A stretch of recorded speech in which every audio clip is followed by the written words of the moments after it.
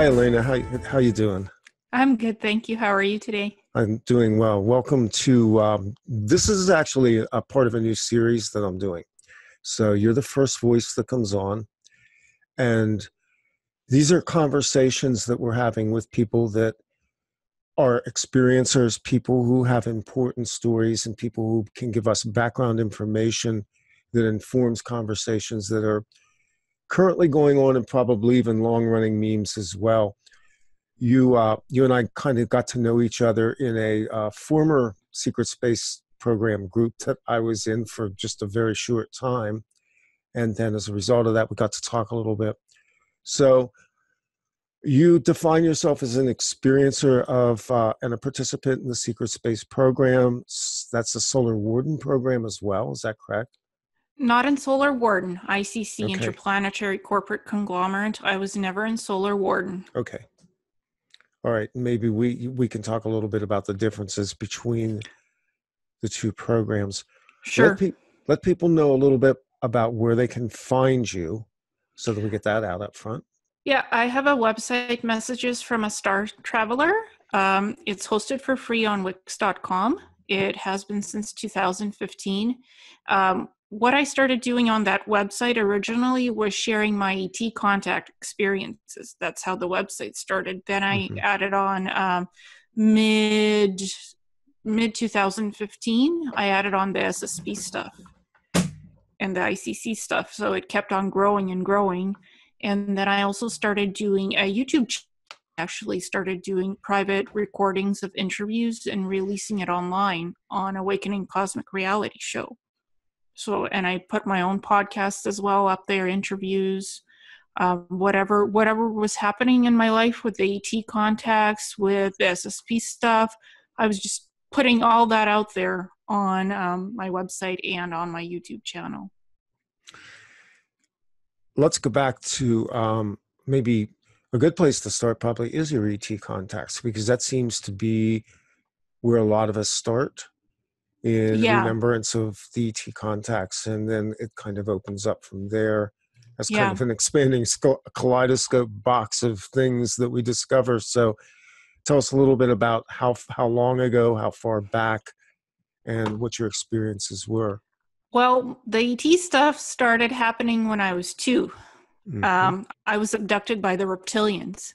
So that's started way back when I was a small kid. They did genetic experiments on me. They infested me with 36,000 nanites, which is nanomaterial technology, and it slowly eats up your body. It enters your bloodstream and it eats your body. It impacts your nervous system, it impacts your autoimmune system. So you're constantly sick, and they wanted to kill me basically uh, the Shirab Invictus reptilians, the yellow ones, 12 feet tall, and the um, Black Draza reptilians, 14 feet tall. So those are the two prominent reptilians that I remember mm-hmm. that abducted me, and they took me into underground bases uh, in Europe near the Rostov area, which is actually a military. That was a military zone until 2010. So, um, and it was in secret bases underground, and they did a lot of genetic experimentation. I remember there were other children chained to the walls of those bases, and it was human-run bases, but they allowed the ETs to to do their stuff there as well. So that's what I largely remember from that time, from two to ten. And I was living in the Ukraine um, when I was until I was four. Then I moved to Israel when I was six.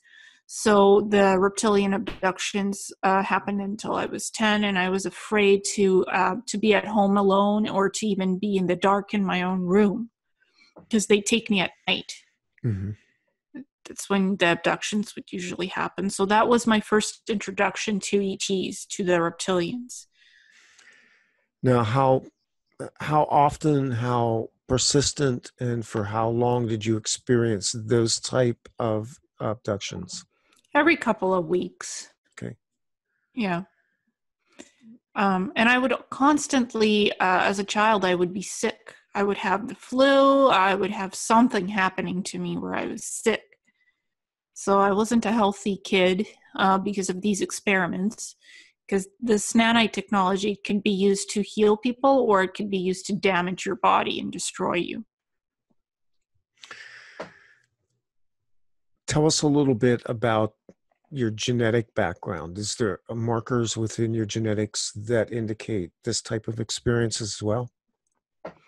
Well, it, I'm negative, uh, okay. uh, O negative. Right. So, um, and I I have memories of of being a star traveler, of being an ET, actually. So I'm not a I'm not originally from this planet. I'm not an earthbound soul incarnate. So my genetic markers have um, ET stuff in it. So mm-hmm. that's partially why the SSP was interested in me, and the reptilians just wanted to stop me from completing my um, my life mission here on Earth. That's primarily why they infested me with the nanites, because they didn't want me doing what I'm currently doing, actually. Now, how did you discover the nanites, and how do you know uh, the number of those nanites, Ileana? Um, I'm an intuitive, and I'm okay. an so I could feel that there was something wrong. Every month I would bleed out, like I would hemorrhage out. Um, so, and the nanites was, were concentrated in my uterus and cervix. So I would have low iron. I would just, I had um, pernicious anemia. I would just bleed out in uh, in times where I shouldn't. Mm-hmm. And I started hemorrhaging, so I had to have my uterus and cervix removed and I just intuitively felt the nanites were removed once the uterus was gone. The nanites were gone, and everything started becoming normal. No more bleeding, no no more blood loss, no more anemia, no more feeling sick. So you you believe then that they were localized to that area? Yes. That's yeah. interesting. Because um, I couldn't walk or and I couldn't get out of bed. I was so weak and tired all the time. Mm-hmm. Basically, I was useless. Like, I would miss a lot of work. I would miss a lot of, I couldn't even go anywhere. I would miss on so many different activities because of this stuff. And um, I did talk to some channelers, some psychics, some healers. I, I went everywhere basically. And one of the healers told me, well, well, I could see you have 36,000 nanites in your body, in your uterus in particular. So I'm like, yeah, yeah, that's why I'm getting the surgery. Um, so I was proactively seeking help and trying to figure out what is this? Why is this going on? And I could, I even took uh, Native, I studied and took Native American shamanism to to help myself mm-hmm. naturopathically. Um, and I studied alternative medicine, anything I could get my hands on to heal myself, because I don't believe in taking um, mainstream medications and it, I, my body can't handle yeah. that stuff. Yeah. So I had to do it all naturopathically. Yeah, it's pretty interesting. Um, because I'm the same way. I can't really deal with uh, any type of pharmaceutical or invasive medical technology at all. I've never been able to deal with it. And uh, blood issues, you know, that's pretty interesting too. Um, so at about what age then did you do you believe you became involved with the SSP? That would be in the age of 16. Okay. Were you before that period of time to your knowing being tested, targeted, or otherwise um, isolated by particular government programs? I remember Monarch Solutions taking me somewhere out near the Sierra Madre Mountains. That's like below New Mexico border and not too far away from Texas. It's it's down lower in that area. I remember being taken to two different bases. One was a secret weapons base, and another one was a sonar facility of some sort sonar testing facility and they would uh, put drugs in my brain to try to turn my brain into a supercomputer and uh, augment my psychic abilities so they could um, see how I would naturally open up Star Gateway portals, walk into those portals, and end up somewhere else on the planet. So that's that's what they were mainly testing me for. How well my psychic abilities worked, my remote viewing abilities, what I could see in blind targets. Um, they wanted to see how much I could do and how far they could push me. They would drown me continuously in water to see how long I could keep my breath underwater and if there would be any brain damage or not. Um, how well I would um, take it under pressure, um, how much pain I could take, how high was my pain threshold and tolerance. Um, at the end of that stuff, I couldn't even feel pain. Like if you if you stabbed my hand, I wouldn't I wouldn't feel that I was bleeding. It was just so numb. The skin is just so numb to pain. I don't even feel it anymore. Yeah, that seems to be common with people who've come out of programs uh, that they have very high thresholds of pain, even to the point of being able to walk around with injuries, the word that should be immobilizing them. Uh, yeah. Uh, Emily I and had, I talk about this a lot. Yeah, when I had my hysterectomy, when the uterus and the cervix were removed, you usually stay a day or two in the hospital. I, I just said, take that catheter out of me. It feels uncomfortable. I just want to go home. And I went home the next day and I just mm-hmm. started walking around like I didn't even feel the pain. I'm like, I'm so I'm so glad I'm pain. Like I don't feel anything. It's great.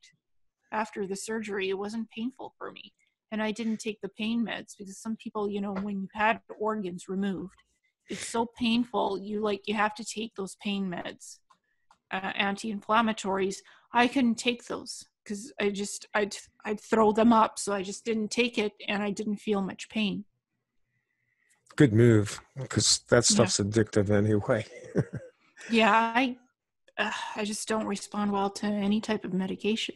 No, I don't either, and I don't take drugs well at all. My body is hyper intolerant of it, so I don't.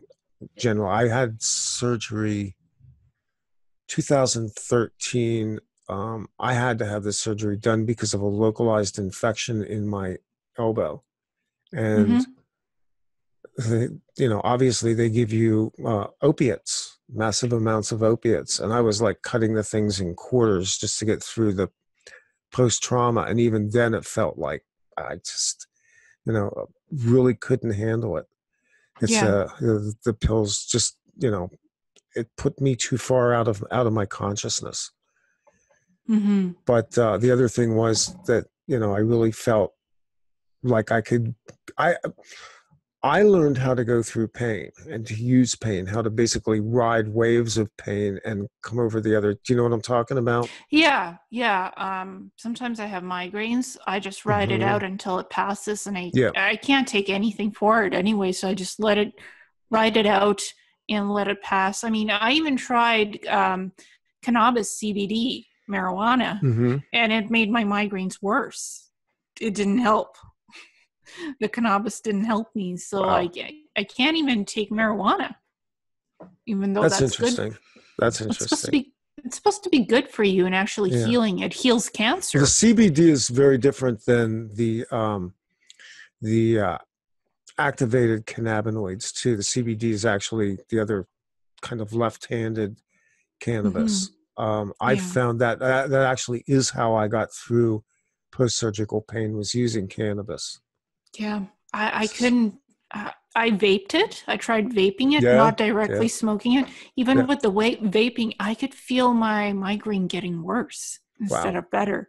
And my hand went numb. I'm like, this stuff, like, I wanted to try it because I heard so many good things about it. Um, and it was the good stuff. Like, I, I went, I looked everywhere and I got the good stuff. Uh, it, it just wasn't for me.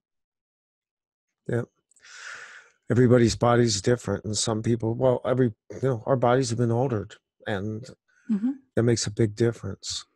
Yes um, it does. with the removal of the of your uterus did you just and the, obviously the nanites how did you feel after the removal? How did you feel in the absence of the nanites themselves? Were you aware of them?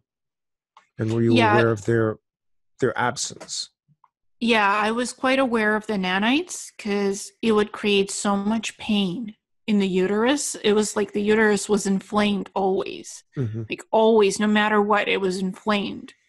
Um, once it was removed, no inflammation because the nanites were removed along with the uterus. Mm. So uh, no more inflammation, no more stomach being enlarged and you know feeling pain in the back constantly like every day for 4 years. That's I felt the inflammation and the back pain. And I just worked through it and the moment the nanites were gone, that went away. And I Mm. was good. I was like able to function properly and I was not sick. So now we can move forward a little bit. Did you continue to have ET experiences uh, after you went into SSP? Yeah, I've always had ET experiences ever since I was small, like from two. Um, it never really stopped until recently when I told them to leave me alone. Because some of the ET experiences are not pleasant, and reptilians are continually involved. Yes, yes, yes. Even in the SSP, they Mhm. have human reptilian hybrids in the SSP Yeah. working with the ICC in conjunction with them and the Dark Fleet. So I'm like, I don't want this anymore. I just want to be left alone. you told them to leave you alone. yes, I said Yeah. you do not. You do not have Yeah. permission to visit me, and Yeah. I told the programs the same thing. You do not have permission to take me, and now I have a whole huge list like Earth Defense Force, Mars Defense Force, ICC, SSP, Dark Fleet. You cannot touch me, and certain other ET factions. You just can't come near me because I don't want this anymore. It's amazing how that works. Uh, once you understand your own legal authority, hmm you know, somehow or another, I've seen it work with ETs. I've seen it work with demonic entities, and I've seen it work with uh, government programs. Not perfectly, but hmm um, in the case of the ETs, they'll they'll at least stop. And sometimes they're kind of sneaky. The little bastards will try to come back in, but um, you have Yeah. to keep asserting your your legal sovereignty yes. when dealing with um, them. And if you don't want them in your house, if you don't want them taking you, just say no. Free will. Like, I don't want this. You, by the name, you have to invoke their name and say, You cannot do this to me. I don't want this. I have free will. I have sovereignty. No. So you you you understand yourself as being a non-terrestrial, sort of a, a, a traveler, a person who really isn't a native soul to this world. Do you think that uh, somehow this is all connected to that identity as well, in terms of both negative ET and SSP trying to basically tap into that background as well? Yes, it's all connected because um, the ICC actually wanted my ET memories. They wanted to tap into those memories and see what I was like as an ET because these these memories, these ET memories, are in um, their cellular memories, so they're part of the body. They're part of the soul essence that this being is who I am right now, and I what I remember of the ET stuff that I was in previous lifetimes. So they wanted to tap into that, and they actually wanted to get secrets out of me, classified ET secrets. So they kept on putting me into these memory pod technology, into this um, medical beds, holographic medical pods, to try to Yep. to access those ET memories of my lifetimes. Um, and the reason why the ICC took me in the first place because I was not an earthbound soul. They wanted the ET stuff. They wanted those abilities. They wanted to harness that and use that in the program for their own advantage in their own projects. So that's why they took me in the first place. So that played a huge role. And I got access to the ET memories in 2013 when I started doing uh, past life regression sessions with my native um, American shaman teacher, Leonard Howell Mhm. and he taught me how to do this and i i'm i'm certified to do past life regression and to do soul retrieval that's that's the um, part of the native american shamanism Mhm. aspect of it so that's how i became aware of my um, that i was not earthbound spirit The reason I ask you that has to do with some other things that we talk about. And, You know, in a way, I wish Emily was here because sometimes she's kind of my memory jogger. but we've talked um, a lot, both between ourselves and with other people, about the fact that we have this sense, I would call it a knowing, that we were profiled coming in at birth. In other words, um, they have a technology that enables them to track souls through lifetime cycles and to basically identify people that they're interested in pre-incarnation. Yes. And so, um, you know, that seems to be intuitively and just based on what I've learned about the technology that they have, it makes a great deal of sense because almost everybody uh, reports their experiences starting extremely young. Mine go back to three years old. Mm-hmm. You're talking about two years old. I yeah. mean, I was with um, I was with a person who was a, a deprogrammer out in Arizona in 2010, and he was stunned when I told him I remembered even being three years old, much less remembering detailed memories. Well, it's interesting because I have a photographic memory, so I remember mm-hmm. everything that ever happened in my life the good mm-hmm. stuff, the bad stuff, the nasty, and everything in between. I remember all of it.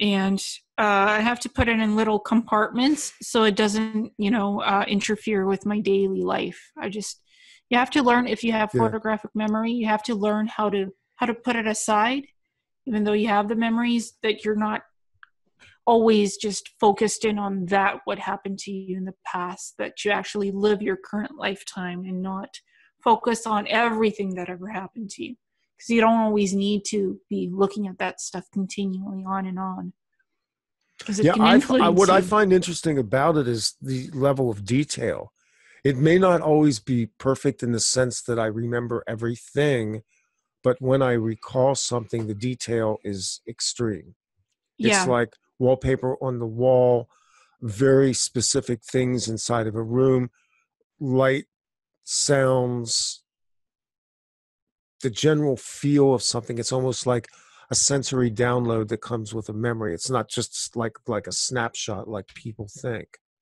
Yeah, definitely. It's like you go backwards and you actually review you you're watching a video of your you're own watching life. yourself yes yes yeah some people have the ability to go backwards and, and do that mm-hmm. to to yeah. to access certain specific memories all the way down to the smell the sound the taste of something and really get c- clearly see that and actually relive it yeah. it's like you're virtually yeah. there again and it's like a holographic reenactment of that time and yeah very it's, much hap- it's happening in your brain because your brain is differently wired if you have that self-awareness it kind of it's like it's almost wired differently so you can experience doing that. So going through your memories there's clearly a time like you said 15 years old you are basically coming into contact with the project. And i just use project as a blanket kind of terminology because a lot of people are coming out of different projects that may or may not have been touching on SSP. The more I'm mm-hmm. starting to understand this, the more I'm realizing that really what we're dealing with is a pretty wide array of sub projects, some of which are not named, some of them are closely docketed. Mm-hmm. Some of them are so compartmentalized that people are not aware of exactly what interlap was going on with the projects. So when you identify, you're calling this ICC, right? Yeah. Okay. And what does that mean exactly again? Inter inter okay. ICC inter in interplanetary corporate conglomerate. It's a mouthful, so I uh-huh. stumble uh-huh. on it sometimes. That's just, uh, oh yeah. Yeah, it's a mouthful. Interplanetary corporate conglomerate. Um, and what they are is that they have shareholder companies here on Earth, like AmerisourceBergen, which is a pharmaceutical company, Boeing, um, Monsanto, just to name a few of the. Lockheed Martin, I could Lockheed Martin, yeah, yeah, uh, Douglas. Yeah. Douglas um, yeah. They have a few culprits that are, to name a few, Merck. You know, all, all the big wig corporations that are heavily involved in uh, GMOs, um, geoengineering, you know, food, uh, pharmaceuticals, those companies, they're the big ones that are the ICC shareholders on Earth. And there's also off planet ICC on Mars in particular. They have a lot of bases. Like I remember 11 in total. They have, um, and they have a base on the moon as well. Okay. For some reason, they don't have much basis on the moon. They just have like one or two. It's a lot of activity on Mars, huh? Yes, that's their primary holdings where they do their stuff. They have their uh, Mars basis, which is kind of military like.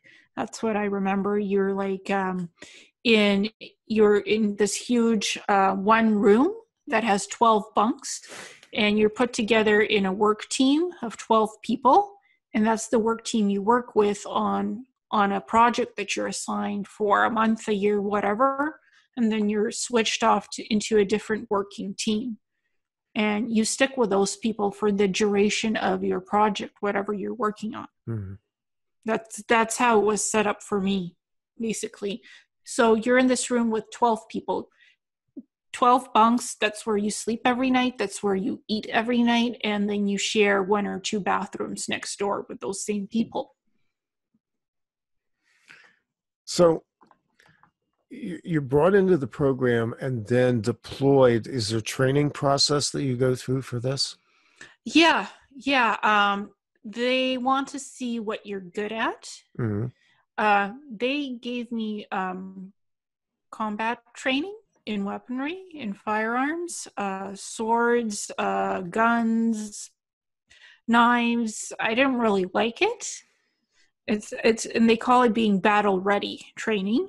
Mm-hmm. Um, supposedly they were training training me to be an assassin and to infiltrate various different ET groups, especially the Mars colonists, and to to make friends with them and report back, spy on them, and report back to the ICC um, what the heck they're doing and because they wanted to take them off planet and put them on the mars orbiter station so the icc mm-hmm. could have mars all to themselves um, so i was used uh, as a gopher as a spying gopher unwittingly because i had neuralink implants that would record everywhere i went what i was doing who i was interacting with where where i had my missions all trainings it was recorded video and audio in through the implants and reported back to the ICC on the Mars basis.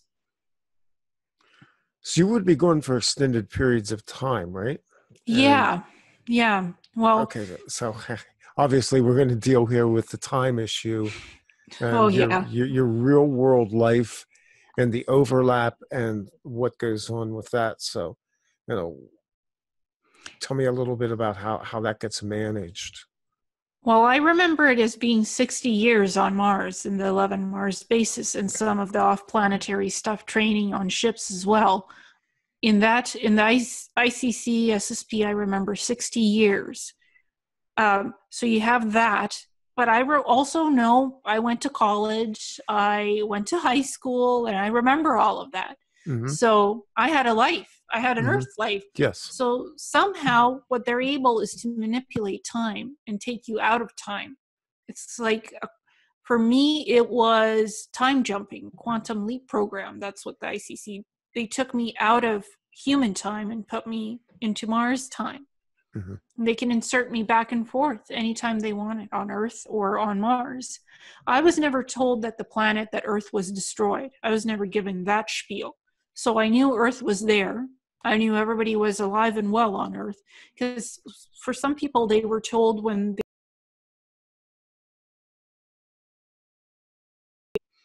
this is it for you. you this is your home now this is your permanent home you are now to live on these bases or to live on the mars colonies and that's it you have nowhere else to go i was never told that i always knew that earth was still there and that everybody was alive on the planet. I was never given that manipulation spiel that the planet had been destroyed. Um, so I knew that they could return me to Earth at any time, but I also knew that they liked keeping me on the Mars basis because they wanted me to process information, they wanted me to spy on other groups, and um, you know bring it all back to them and report on it so what other groups were there are we talking uh, extraterrestrial groups other earth groups competing corporations? What well from what i can remember um, on mars there are um, secret space program ssp bases. They have their own bases. Mm-hmm. then the icc has their bases a lot of them more than more so than the ssp and there's a few dark fleet bases as well on um, on mars and a couple on the moon um, but the dark fleet is mostly uh, outside the solar system now that's their domain because mars is icc strictly interplanetary corporate conglomerate they're the ones that rule the roost so to speak so what's their line of business? What are what are you doing? Are you doing mining operations? Are you doing? They do mining. They do uh, build outs of their basis, advanced technology, medicine. Um, also, they've branched off into transhumanism and making cyborgs out of um, people. Mm-hmm. And then they uh, trade off the cyborgs with other ETs, tall grays, that's one of the groups they trade with. Um, and what they basically want is to give out their great technology for even to get even more advanced technology, reverse engineer it, and put it into uh, working whatever into working on the assembly line and out out to their programs. Um, what they also like to do is outsource their own assets. Say another the SSP needs you know a specialist in something they'll outsource one of their assets in exchange for, some ssp personnel. They do trades with other groups as well in the, these programs. So uh, are the, are we limited to just mars or are there other other worlds other domains other places that that you know of that they're also doing business on? Oh yeah pluto. They okay. have a uh, program on Pluto, the ICC, and they work with time travel technology.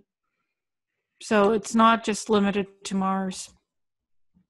So a lot of what we hear is that this is a breakaway civilization, but it doesn't feel to me like they are a breakaway so much as they are. Uh, I'll just use the word parasitic. Truly exploitative. But the, are they to your knowledge, building an actual civilization somewhere? Is there some plan to jettison Earth and build a civilization away um, from the, Earth? the ICC doesn't have any plans to jettison Earth because they still they make money on this planet. Okay. It, it's it's and they can abduct people as assets from Earth to use and then return back anytime they want. So uh, Earth is a viable source of, of people, people, and people to be used by these programs. Dark Fleet has branched off and made their own civilization. They have cities, like huge metropolitan cities on other planets outside the solar system. Mm-hmm. I remember that. Like I was in some city. I don't remember the planet. I remember city, huge city, and these cigar shaped circular craft traveling above the cities. And that was definitely the dark fleet because they they have a way of camouflaging their bases with shielding so you can't even see the base from space. Mm-hmm, mm-hmm, it's yeah. shielded magnetically. And they have these huge um, magnetic towers that provide that shielding holographic shielding. Mm-hmm. so it just looks like ground that there's n- nothing actually there but their cities are built out. And they're shielded so you can't see anything from space where their cities and bases are. I guess the hardest thing I struggle with is the money aspect of this and the wealth aspect of it. You know, when when you're in possession of advanced technology, which basically eliminates the need any longer for not even just basic needs, but I'm talking pretty much anything you desire in terms of a good life. Mm-hmm. I'm still trying to figure out what, and you know, this this goes kind of into the philosophical end of this whole thing, but it's it's where my brain runs into a real issue because I'm just not wired this way. I don't think like this. That wealth, exceeding wealth, wealth beyond what even in earthly terms we can understand, is such a compelling force that they're basically running slavery operations and outlier colonies and interplanetary cartels just for money. It's the, mindset of this, you know. Well, I don't think it's so much about the money on Mars. It's about um, building more technology, making advancements, and trading with the ETs. They don't trade for money with the ETs. They trade for, with human um, human assets. Yeah. That's what they trade with. So ICCs um, they make their money through their Earth shareholders because that's the way how you do it on Earth. Mm-hmm. So those companies still work in money. What happens on Mars? It's it's it's trading with goods and services, not necessarily money. Because mm-hmm. like you can't give an ET paper dollar bills or or gold or whatnot. An ET is right, not right, going to yeah. want your money. I get that. I get that. Yeah. um, I just I don't know. Uh, maybe it's just my consciousness, and then maybe it's why I never really fit in with much of anybody's programs. Is that metaphysically, I really struggle with the concept of materialism at that scale, and then the exploitation of humans, which to me is the big story about why we're why we talk about all this stuff anyway. Yeah, humans are the collateral that's not yeah. the money. The yeah. humans are the the trading collateral on Mars for um, for soldiers, for scouts, and other nefarious sexual purposes. Um, because it's not just creating cyborgs. There's also sexual stuff that goes on there. Yeah. Um, especially the women are uh, are given as that as sexual slaves. And some people have uh, fragmented personalities when they're returned. So they have sexual proclivities, they have weird sexual memories of doing stuff they'd never do yeah. normally. Yeah. So the pedophilia is huge, is just not well known. It's well hidden on Mars. Here, not so much anymore. It's kind of crawling, creeping outward. Yeah, it really that, is, isn't it? It's yeah that there's this stuff. I mean, there's porn for free online. Anybody, if right. you're addicted to porn, yep. you can get it for free. It doesn't cost you anything. So th- there's all kinds of addictive stuff that's available online. You have the internet, you could access almost virtually anything. But there's an, it, but you and I both know that there's an energetics that comes from, let's just say, the real stuff. I mean, yeah. and it is.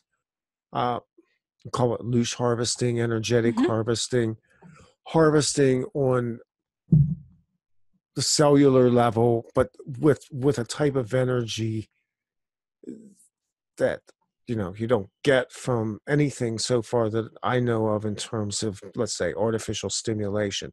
There's a there's a this is a power thing. This is a high. Mm-hmm. Yeah. I mean, my I understand uh, the the pedophilia thing pretty well and I understand that that is a particular type of energetic juice that is so prized here, and I'm certain it is there too, that men's lives and careers are basically built on the currency of this. Something that's oh, yeah. very hard for most people to understand at all. Yeah, I mean, um, if you have sexual proclivities, never get caught. That's that's that's the thing because what they do, um, certain government officials there's cameras everywhere. There's video and audio in everybody's offices. Everybody's being monitored. And if you're caught participating in something you can be easily exposed as having a sexual addiction as being a predator whatnot. You can be labeled as anything if there's footage of you doing something wrong. It'll just be used against you as collateral to blackmail you. That's just how it is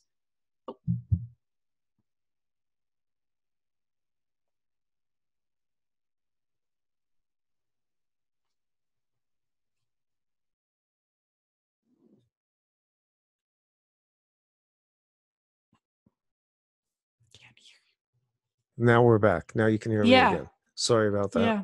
That's okay. Um, um, when when you start talking about something interesting, something always happens to try to disrupt the flow. Yeah, yeah, of course, of course. And sometimes it's me with my fingers. But so again, you know, that is you were saying earlier, you know, they, they have cameras, they have evidence. That is how the system runs because everybody's corrupted. Everybody is blackmailable. Everybody's yeah. been pulled into this. You mm-hmm. know, the situations are as unique as the people themselves, and we're all human, mm-hmm. but we all can be compromised, even unwillingly. And now, I mean, given what can be done with virtual reality and I mean, just Photoshop, but even beyond that, everybody is blackmailable, and that's the flaw of the system.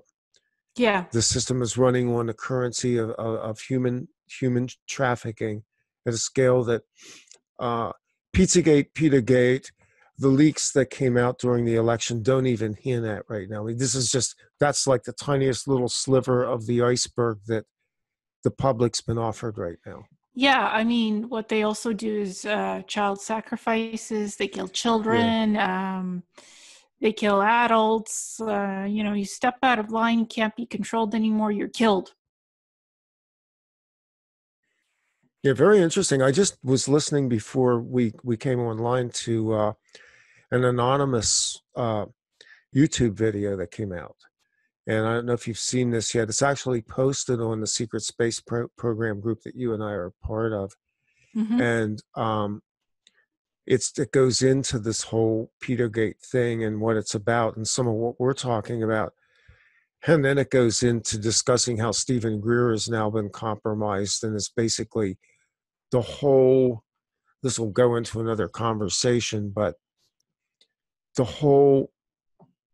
Uh, UFO, ET disclosure, um, alternative media thing is now being just totally upended and ripped apart by by the disclosures that are coming out, and that's that's got a lot of loose ends to it that you know we can yeah, talk about as we go along. There's been a lot of name calling and mudslinging on various people, um, and I just sit back and I'm like, okay, if people want to do that, whatever.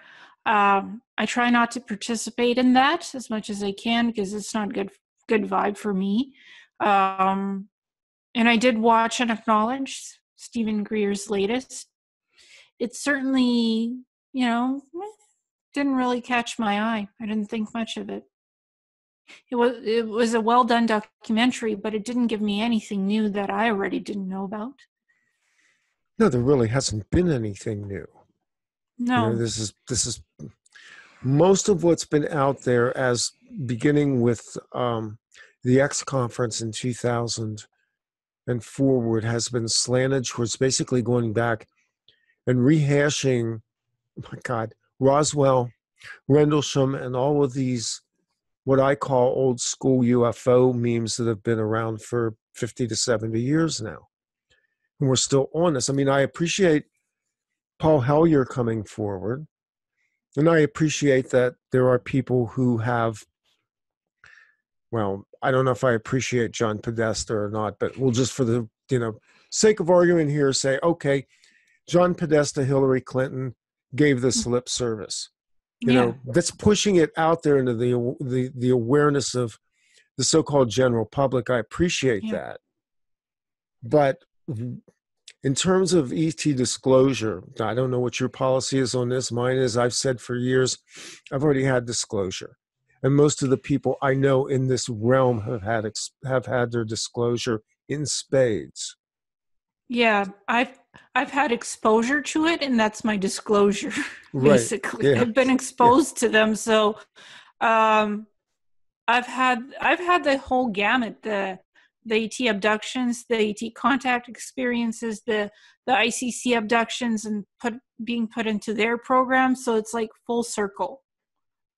All of it has been done to me, and I, I've I've I've been exposed to all of it. So I'm not really shocked or surprised by anything that's coming out in terms of Pedogate about the secret space program. To me, it's like, oh yeah, I have I've seen this already. I've heard it all before. Another so day me, at the office. Yeah, exactly. It's not nothing new to me that I haven't experienced or gone through. Um, I don't I don't remember being sexually exploited in these programs. I I remember being taught how to be an assassin, um, to be trained to kill people. Didn't want to kill anybody, but the training was forced on me. So, uh, and they use different vices for to to see what asset they can make you into. That's that's the thing. They they look at your personality, they look at all your abilities, what you're capable, how high you can be pushed, and they exploit that to the fullest degree that they can. Yeah, it's a, I don't know. I mean, my theory is that there is an element to that in all of this just because of the programming, mm-hmm. whether you're actively used or not. I can't prove this. Just the number of people that I've talked to, my own experiences is that there's there's there's an activation that occurs there mm-hmm. that involves obviously uh, a form of, of, of sexual initiation as well. Yes. You know? And yeah if your memories are different than that, I completely understand that. I don't remember being sexually initiated. I okay. remember being initiated in the way of the warrior with with assassin training because they could initiate you that way as well. Okay. Um let's just put it this way if somebody tried to do something to me sexually in the wrong way, I'd just beat them up and black and blue and they wouldn't know what happened to them because right I won't take that. If if if somebody wants to assault me sexually, uh, watch out. You don't want to meet me in a dark alley at night because I'll just I'll just beat you black and blue. you attack me if I'm attacked, or somebody tries to force something onto me that I don't want, and it, it's violent or something. I'll just beat them up, and I won't think twice about it. That's just the programming of what the ICC gave me. That's mm-hmm. how I was trained if you attack me, I will respond back and I, I, I, won't hold back. If somebody is violently attacking me, I will beat them up to protect myself. That's just that's that was part that's of your, my well, training. That's your, yeah, that's your that's your training. Yeah. Yes, that's how I was trained to respond to to force and to brutality, to violence, to give back exactly what I get, and then some. That was the training. Let me pause here for one second. I need, I'm losing light in this room, and I just, sure. my one light just went bananas on me and, and dimmed out. Start the recording again. Mm-hmm. Okay, so we took a lighting break there. Things are a little better. Mm-hmm. Where were we? Oh, we were talking about um, people didn't make moves on you because you you could definitely take them out. Yeah, yeah. Um, what I have some bleed through habits that uh, I developed when I was 23 to 25, where I just became interested in weapons um, rifles, semi automatics, handguns, uh, knives, uh, swords, battle axes. I, I just had natural training with it. Mm-hmm. Um, and when I went to t- take my um, gun, gun training test and for restricted and non-restricted i passed with 89% and 96% in both. Um, and i didn't even read the booklet or watch any of the videos in how to use firearms because that's how you get the training. You just sit in a classroom and mm. you're taught all this information about guns and rifles uh, handguns. So I, I just kind of like slept through it all. I just tuned it out and didn't listen. and then just wrote the test. Um, and then you had to pass the, the, the physical test of, um, of putting the, the gun together and taking it apart and loading the clip with mm-hmm. the ammo. So I just did that without any problem. I'm like, done. And he's like, oh, well, looks like you know what you're doing. You've already done this before. I'm like, no, I haven't and then later on i discovered oh wait i did in the program training. Nice. so it was pretty funny. And i seem to notice that a lot of people who've been in the programs have motorcycles as well.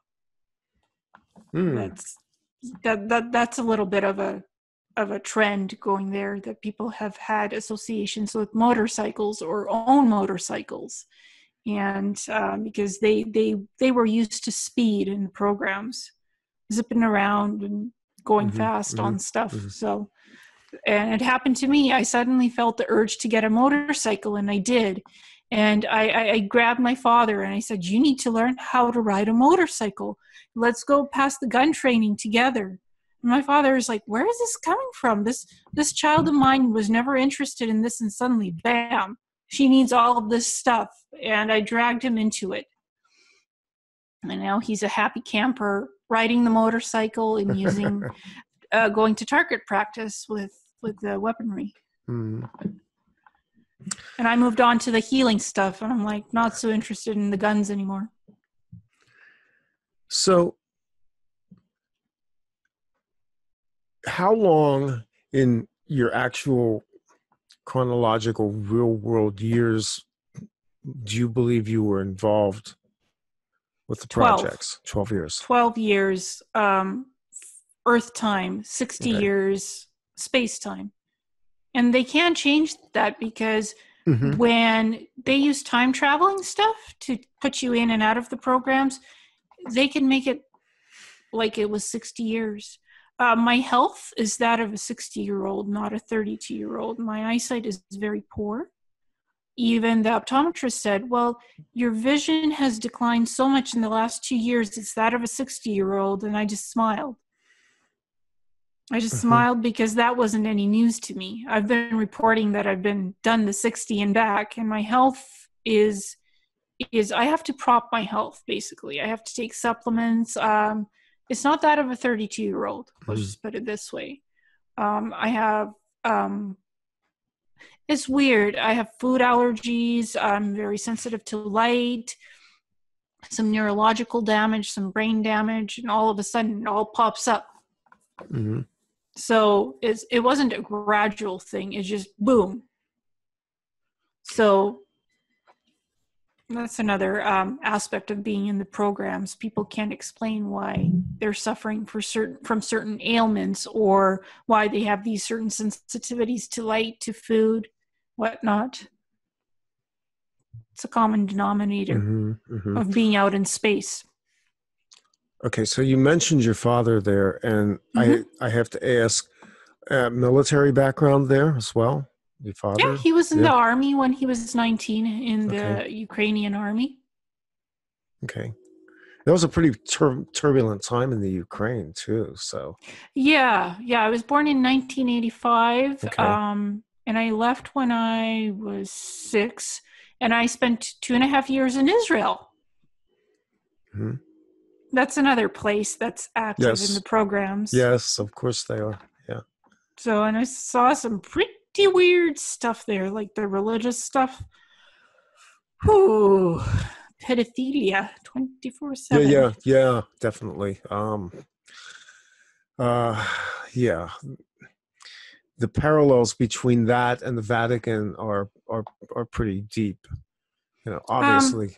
Um, yeah. Um, these these weird men who wear black trench coats and a huge top hat with the curlicue mm-hmm. um, you know they, they, they go around to houses and apartments asking for donations for their place of worship and if you don't open the door and donate they'll piss into your flower pot expose themselves into piss into the flower pot that's what happened to my mother and me because my mom didn't open the door so they exposed themselves and pissed in the flower pot because we didn't yep. open the door to them. Yep.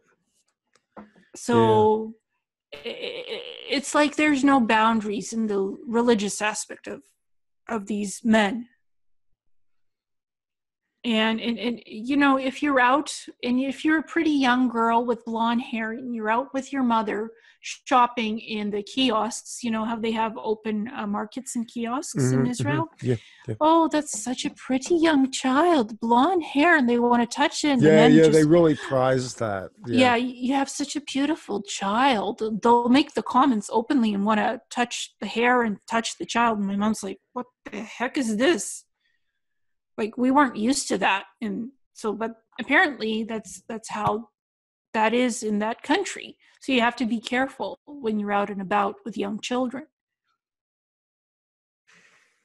And the reason why i ask you about your father's military background is that in my experience, they use access to military people as ways again to profile, because obviously anybody that's in military has given over their own privacy. They have total access to records, medical records, Mhm. family records, all of that.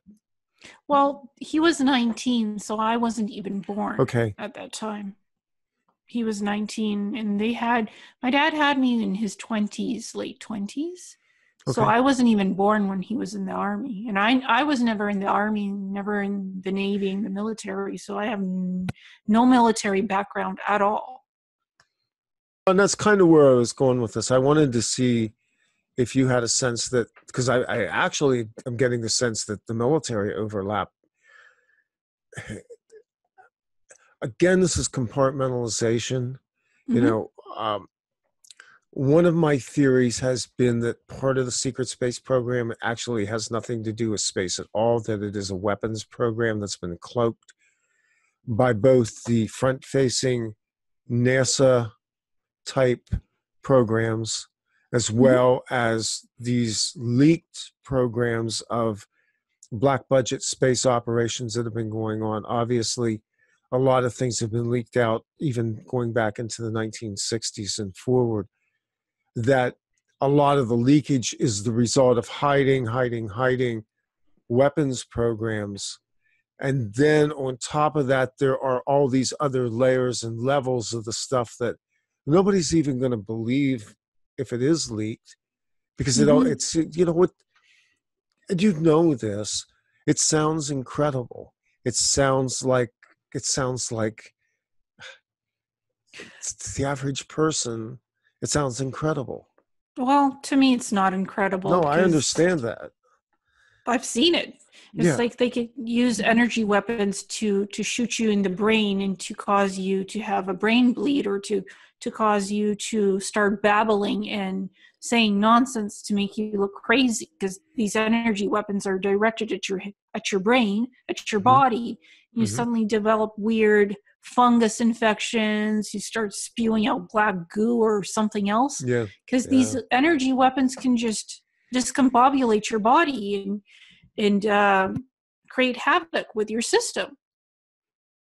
And you don't see it it's just an energy field with magnetic electronic energy coming at you emf fields so you you don't see it but you, it, it affects you anyway on the energy scale. So, so they some of the technology they have clearly is capable of altering time yes. as we understand it and hmm that includes the ability to both do age progression and regression as well. Yes. Yes. Yeah. Um, what I've noticed about myself um, physically, the way I look now, I haven't changed since high school. I've looked this way since I I was, was gonna, I was gonna say you kind of don't look even 32 years old. um, in these programs, what they used to do is give give me drugs to make me look young, so I wouldn't age. That's Mhm. something I have a clear memory of, and I've always been, I've always had the urge to take good care of myself, so I would always look young. it- Mhm. I've always had that that programming to maintain myself well, to to look good. Mhm, mhm. I don't wear makeup anymore. I don't put crap on my on my on myself anymore. Uh, I just have the urge to look young, to to forever be young. So that's that's I think that's bleed through programming that just continued in Yeah. my life. Yeah, that sounds like it. It is actually. Mhm. Um, a lot of a lot of the people in these programs don't look their age. Well, they're They not. don't. They're not. Yeah, and they're not fed crap food. They're not. They're Right. not given medicine that they're actually kept very healthy in the Mhm, programs. Yeah, you got to take care of. Uh, got to take care of the human assets, right? Yeah, when they return you back, they don't care about you. So they don't care if if you're diseased or what after your experience in the programs. While you're in it, they take care of your health and you're in perfect working condition because you're you're a live asset and they need you for stuff. But now that you mention it, it's interesting. Um, most of the people I know that have been in these projects have food allergies. They have both physical and emotional disabilities that aren't consistent with a normal life pattern.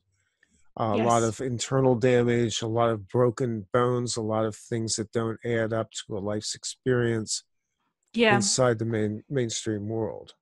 Yeah, I um I suddenly got brain damage I can't explain. I'm I, I have a lesion in the white matter of the brain that I can't explain. I just suddenly got it. So um and I did my neurologist didn't believe me, so I just went and privately paid for an MRI and I said, "Here, look at this MRI. Like why why am I feeling this brain pressure and such sensitivity to the light that I can't sit under bright lights anymore? Mm. This is it. That's because I have I have a lesion. I have scarring on my brain. Here's the proof. You want it? You want proof? Here it is.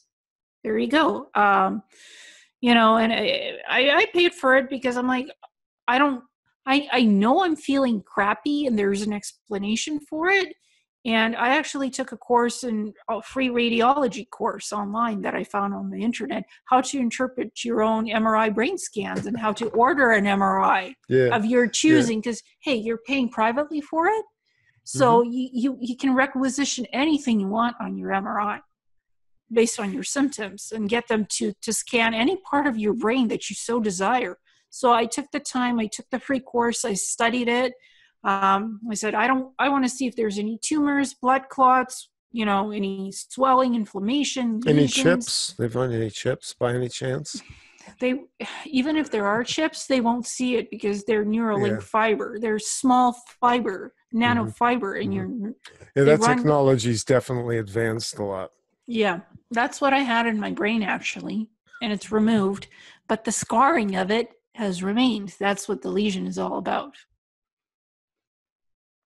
And my doctors are like how the heck did you know what you had? And i'm like you know i just studied it up and sort of ordered what i wanted for for these tests. They know you kind of remote viewed yourself. Yes. Yeah yeah. i mean yeah we all do that. Mm-hmm. um, emily talks about that a lot. So she could tell us about you know scanning her body remote viewing herself and I, I guess i do it it's it's different but i have a sense of what my body needs and when there's something wrong where something's located and i do this kind of energy thing where yeah i have a sense yeah you know it's yeah. one of the one of the ways that we can kind of get ahead of things by doing mm-hmm. that because you know you can begin to energetically heal people the reason why people like medical technology is because it's quick fix. You take a pill yeah. boom you feel better. You get some surgery boom supposedly you're cured. Whereas you know energetic real holistic healing is is time process sensitive and requires a discipline to it that's not part of normal uh, allopathic medical practices. Yeah. I mean i take a lot of different supplements to make yeah. sure i'm running well and i'm i'm on, as as best as i can be as healthy as i can be um, and i don't sit under bright lights i don't use the computer much um, I'm restricted to my computer use, to my webcam use, because all this stuff hurts my brain so much. So, uh, and I don't watch TV. Like I try my my best not to be hooked into the technology because it does yeah. it does damage you. Yeah, it does. So it, it's just about knowing what's going on with you and understanding yourself and what happened to you. That's all yeah. it is. So you talked a little bit about weapons and motorcycles. Any other skills that have kind of popped out that are the result of what you believe to have been the training you rece- received? Um, i'm good with computers and good with i love technology. I love grabbing anything figuring out how it works i won't watch tutorials i won't take courses i just figure it out on my own yeah. photoshop how yeah. does photoshop work i figured out photoshop in two days yep. and I was editing photos. Um, I wanted to do radio. I wanted to do audio video. So I learned on my own in a month's time. Um, it had been a long time like I was trained in school because it's it's I was trained audiovisual. Uh, I was trained customer service, research, uh, library stuff. That's that's my background, library world.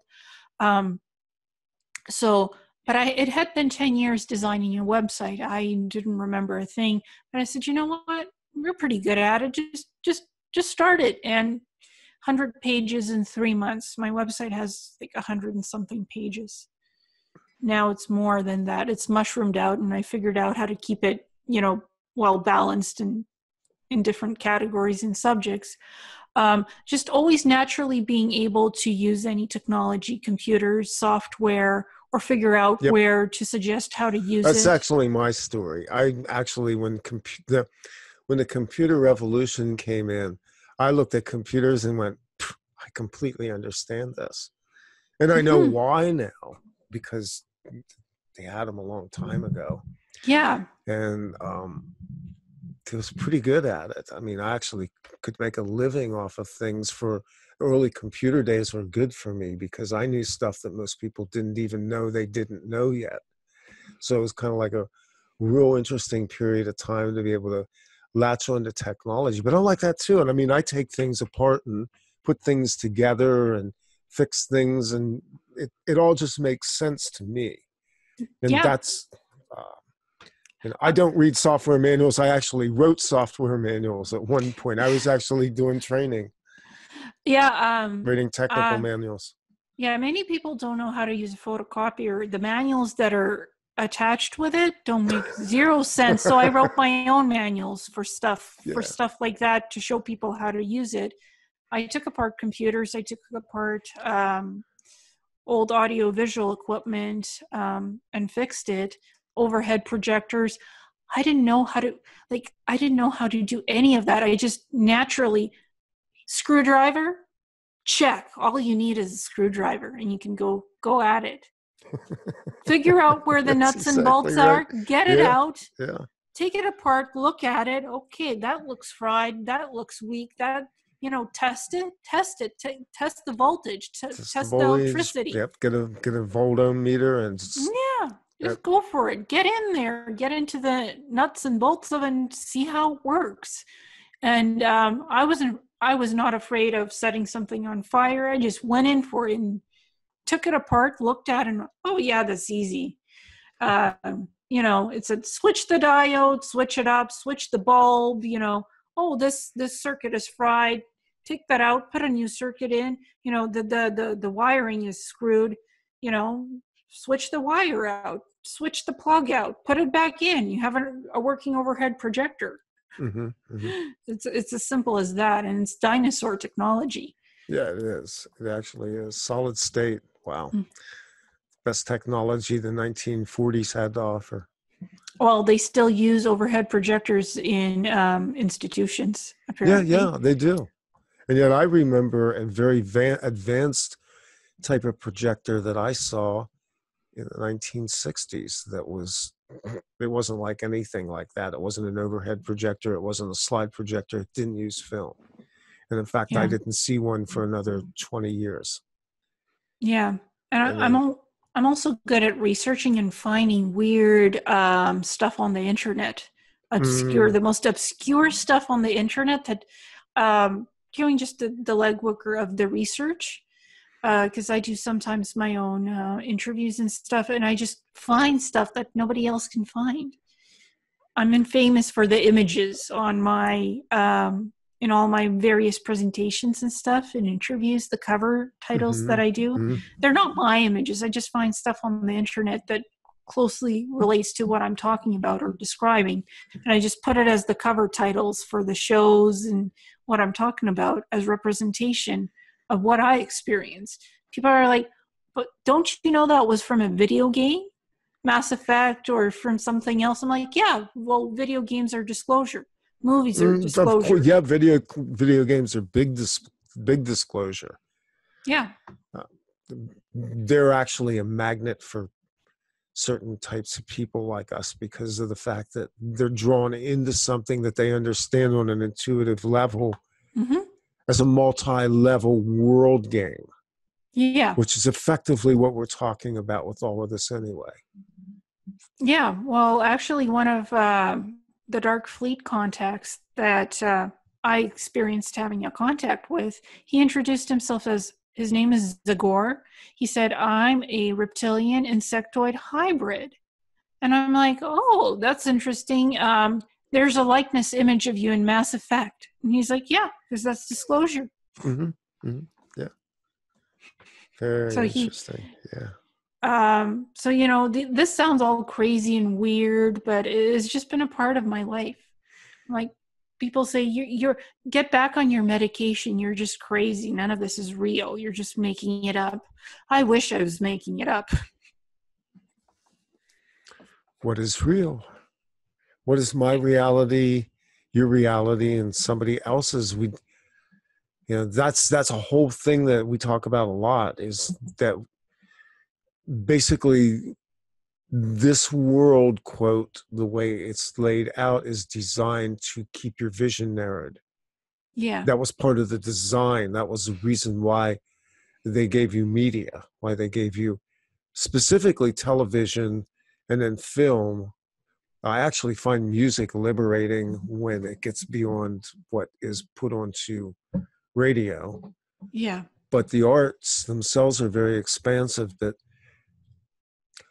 when you conceive when you can conceive of something it becomes real. That's that's one of my operating principles. That was Same how i worked through a lot of trauma in memory recovery and in dealing with things that were as you probably know i mean when you when you're going through re- recovering memory when you're coming to grips with coming out of something that has no component of reality in the so-called real, real world the only thing you can do is allow that to come in and then allow yourself to integrate that into your reality. And they would say that that's psychosis, but I think that that begs the question if you're able to integrate another reality and operate in reality, then you're not psychotic, you're no. not neurotic, you're not schizophrenic. No, no. Um, it's just most doctors don't understand what is going on beyond the normal no, spectrum of things in people's world. Um, you know, and I and people have asked me, well, have you gone to psychologists and shrinks and told any of them any of your story? I'm like, no, I would be labeled as a crazy, and they give me antidepressant pills to to gobble up. I'm like, I'm not gonna. No, I don't fit into mainstream psychology or no, that shouldn't get you locked up. I mean, you know yeah. that. I, yeah, I do. No, no, I don't. I don't want to see a padded cell and stare at a blank white wall and uh, be wearing a straight jacket. No, thank you. I learned or, real young not to talk about ETs. Well, I was always blabbing about ETs. Um, the thing that I remember is when I was three, my dad had gone to France and he brought Power Rangers on video cassettes. He brought four video cassettes of the first season of Power Rangers. It was in French and he put it into the VCR and I, I was glued to the television watching Power Rangers in French. And I'm like, Daddy, aliens are real. And my dad's like just smiled and go go watch Power Rangers. Even though it was in French, it was so enthralling and interesting, I couldn't stop watching it. In the back of my mind, I always knew aliens were real, mm. that this was not made up, that this is real. So, and that's been like that throughout my life. Yeah, one of the great gifts for the of the internet, and this was like early on. This was pre-web, was Usenet groups on the internet that where people could talk about some of this stuff. Yeah. This is like, I don't know, late 1980s, early 1990s. You would have still been a child then. Yeah. Um, but there were alt groups on Usenet. That's really where this whole alt thing comes from. Was the alt dot groups that were on Usenet in the late 80s and early 90s. You would go in through a uh, BBS, a portal, and then go into Unix to Unix networks. Mm-hmm. And you could drop into all of these Usenet groups. And there was there was some very deep stuff going on there. Some of the people that emerged onto the internet, onto the web, that are out there now as even big figures in uh, ufology were on those boards back then talking about this stuff. But for me, it was like the first place I remember even being able to express these thoughts with other people online. It was like the internet allowed us to finally be able to talk about some of the stuff. Yeah. Um, I just open my mouth and say, hey, do you think aliens are real? Maybe, possibly. And people get their eyes just become so big. And I'm like, and I just smile. It's just sometimes I, I want to survey people and see what they think a true, raw, honest reaction. And people are like, so do you believe in aliens? I'm like, yeah, totally. I'm an alien. And people are like,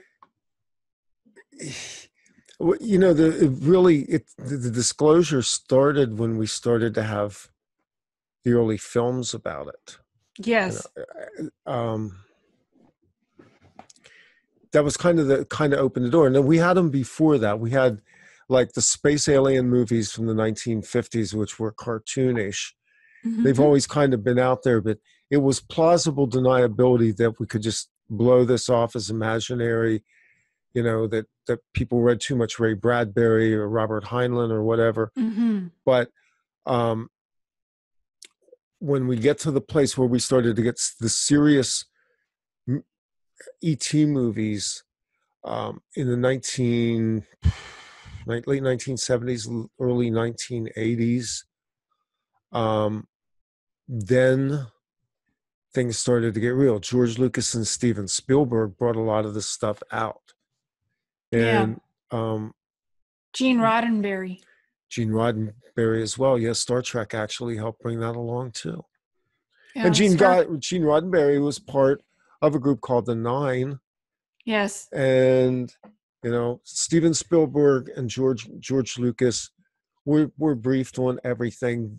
A lot of what's woven into Star Trek, a lot of what's woven into um, the Star Wars movies, as you well know, yeah, are I watched in some ways all. parallels of all this. They're I, nicer, I, but yeah, yeah. I could I could name you off twenty different shows that do disclosure. Battlestar Galactica. Battlestar Star, Galactica. Yes, that's that's the one that I was thinking of too. I I, I didn't watch the old ones from the, the yeah the seventies yeah, when Lorne Greene no. did yeah. The, the yeah, I didn't series. watch that. I watched the new series with the Cylons that's that's the organic um, transhumanism yep. The yep. cyborgs the ai the robots they they they were so real looking that they they were part of humanity yes you can tell them apart from humans except yeah. they're they're they're not born like us they're they come out of goop mm-hmm. from this vat of goop and all but you will you'll find that in another movie yeah. That's over an Alien with Sigourney Weaver that they put yeah. that. See, all of these details kind of dodge in and out of different film franchises and TV yeah. series. You know, and the people that have some sense of this kind of go, oh, yeah, that actually is correct. And there's other details as well because they can't dump it all out at once. So, I mean, eh, we are getting that. We have been disclosed. We've been briefed. Yeah, and uh, like Prometheus and the show Passengers, yeah. mm. um, the medical pods in both of them. Yeah. Um, and there's this new show. I keep forgetting the name. It actually is. There's a war between Mars and Earth. It, it's it's a new show. Yeah, I'm terrible with this. Um, yeah, The Expanse. There it is. The Expanse. Okay, I haven't seen that one yet uh, very good stuff. It actually discloses what the ICC could look like on um, on Mars and how the Earth elites, the government, is so corrupt. And it it takes place 200 years in the future and talks about the belters and the mining and how they're being used, you know, for you know how they're all sick out there in the space mining stuff. And they don't get anything out of it. So that's do you have basically. A, do you have a sense? Do you have a sense of how old the, these programs actually are? I mean, how long they've been running these programs? I would say they've been the the ICC almost 80 years. Okay. That's longer than most people would would expect.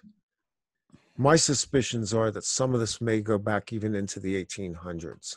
Oh, it does. Oh, it does go back into the 1800s. I was just telling a friend um, that the beginnings of these programs go back to the 1800s. The remote viewing, mm-hmm. the Time Corp. The Time Corp goes back to the 1800s, where they've been doing time traveling, and that's a se- separate program from the programs.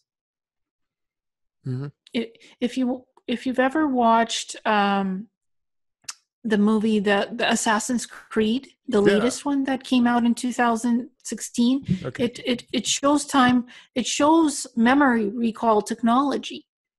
How you can go back in time in your memories and look at stuff, look at world events, look at your own memory.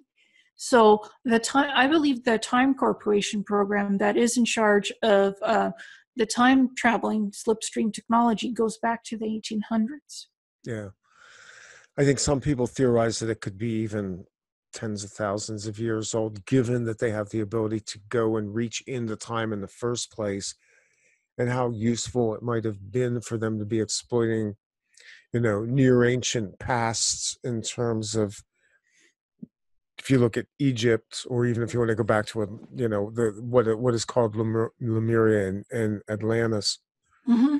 that um, in all likelihood, this whole program's been part. Uh, it's been woven into human history for hundred thousand years, probably.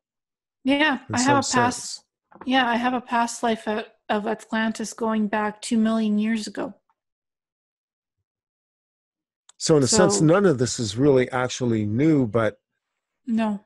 Um, it does look like the the technology bled through. If you even if you look at the progression from the 20th century, mm-hmm. and you look at the the two world wars we had, and how each one of those wars was a very quick acceleration of technology. How the beginning of the 20th century, we barely had airplanes, and by World War II, we were fighting wars in the skies. Mm-hmm.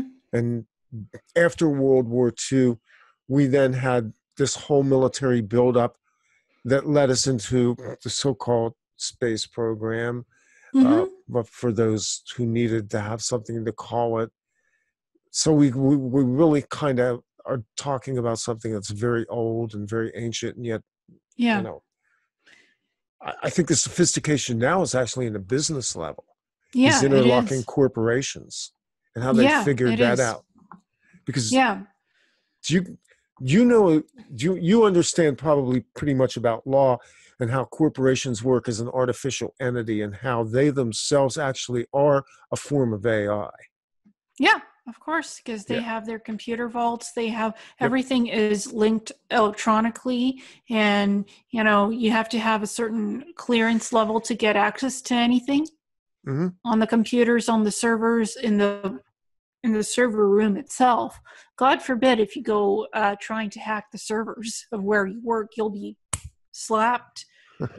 Worse than like what what happened to yeah. McKinnon. He discovered the um, yeah, yeah the uh, off-world officers, non-terrestrial officers, yep. in some kind of a fleet. And he was in the UK at the time, and they wanted him in the US, and they tried to extradite him, but they couldn't get him, and he's been quiet. This he guy just quiet, yeah.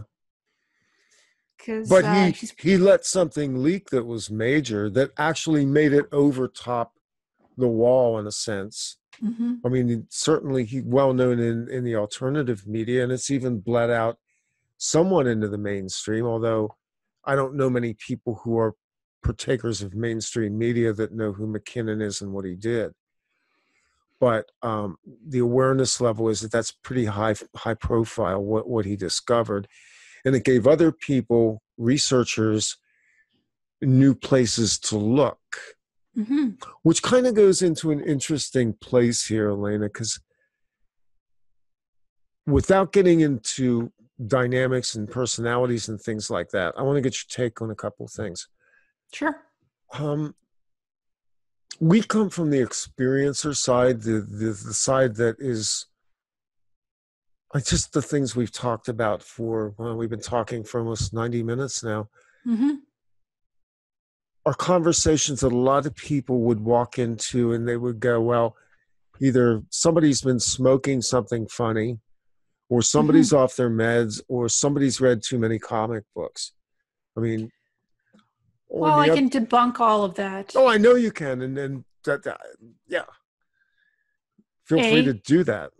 A, I don't smoke anything because weed doesn't agree with me. Um, I don't take any meds either. That doesn't agree with me. And I've never read comic books in my life. And I bet you're not making a boatload of money doing this either. I don't. I don't make zero out of this. Yeah. Nothing. Zip No. zero. It's Yeah. zero. Zero. Yeah, it actually costs you money. Yeah. Uh, that actually doesn't cost me a thing Okay, that's good. because the website Messages from a Star Traveler is hosted for free on Wix.com. Um, my YouTube channel is free.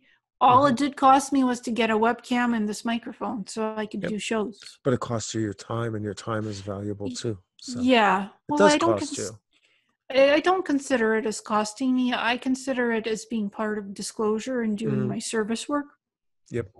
about what happened to me and uh, to bring some awareness to all of this crazy thing that's going on.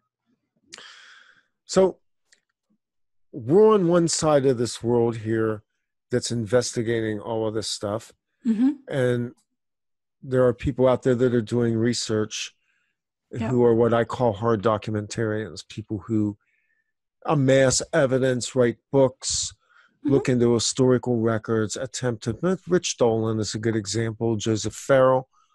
Yeah. Um, they're they're solid researchers. They're people that are documentarians, and they're all kind of on the other side of this thing.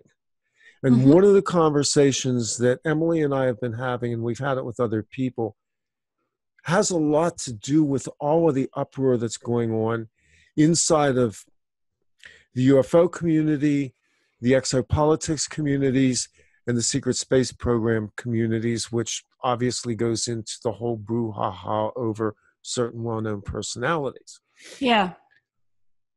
Is that on the one hand, the experiencers have basically said, look, this is what I know, this is what I remember. I'm giving you my experiences. I'm merging it with a, a pool of knowledge of other people who have similar experiences. There's a lot of overlap. There's a lot of agreement that this is going on. There's literally probably thousands of people on the internet talking about various aspects of the SSP Yeah. the documentarian people, for the most part, have said, we want proof, we demand proof, and we will take nothing less than proof. So, in effect, what's happened is we've kind of ghettoized the experiencers at the expense of losing valuable venues to data. Tell me how you feel about that. Tell me what you think about that. And how that's impacting what you're trying to do in terms of your own disclosure process. Well, people have contacted me with their SSP experiences. So I say, okay, let's chat about it. I Mhm. want to record it on video and audio to have Mhm. it as a record privately. It won't be posted anywhere, it'll never be leaked for other media sources and alternative media or anywhere. But I want to have a record of your story. Um, tell me as clearly as you can what you remember in the sequence of how you remember it. That's how i go about seeing what what the people's experience is.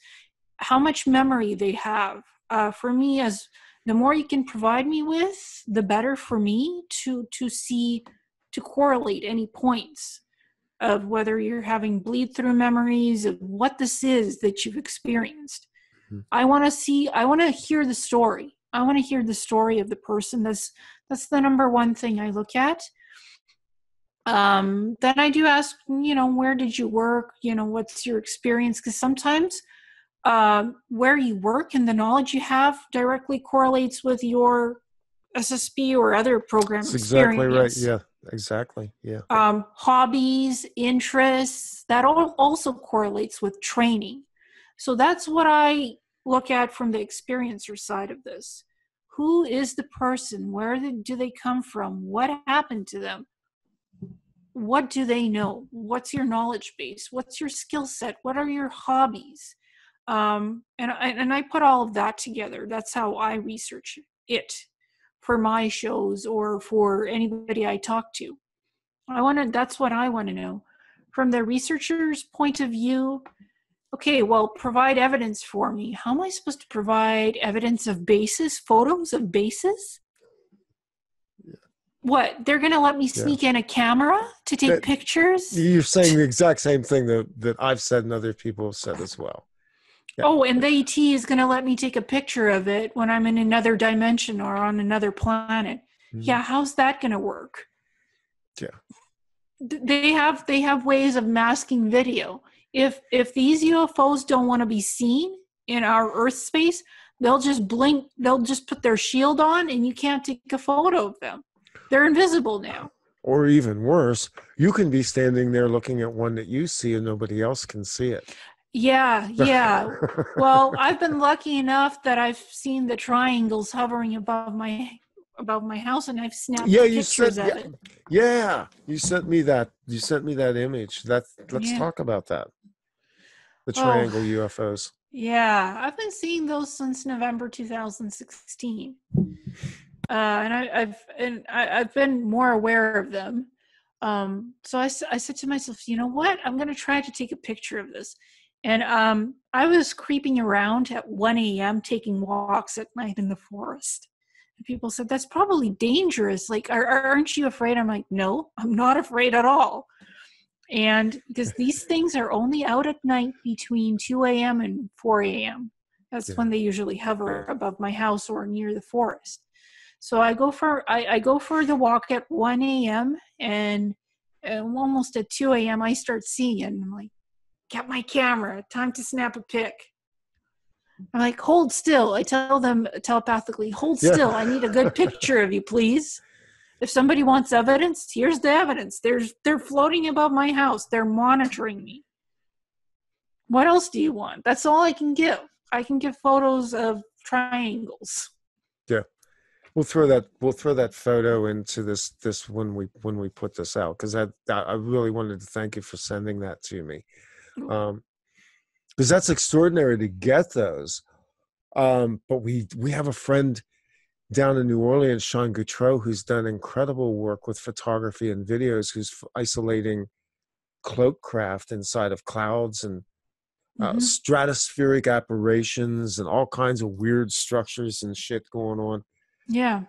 Um, and he's he's probably the most ignored person in ufology. With any, you if you want this, if you want solid evidence, there it is.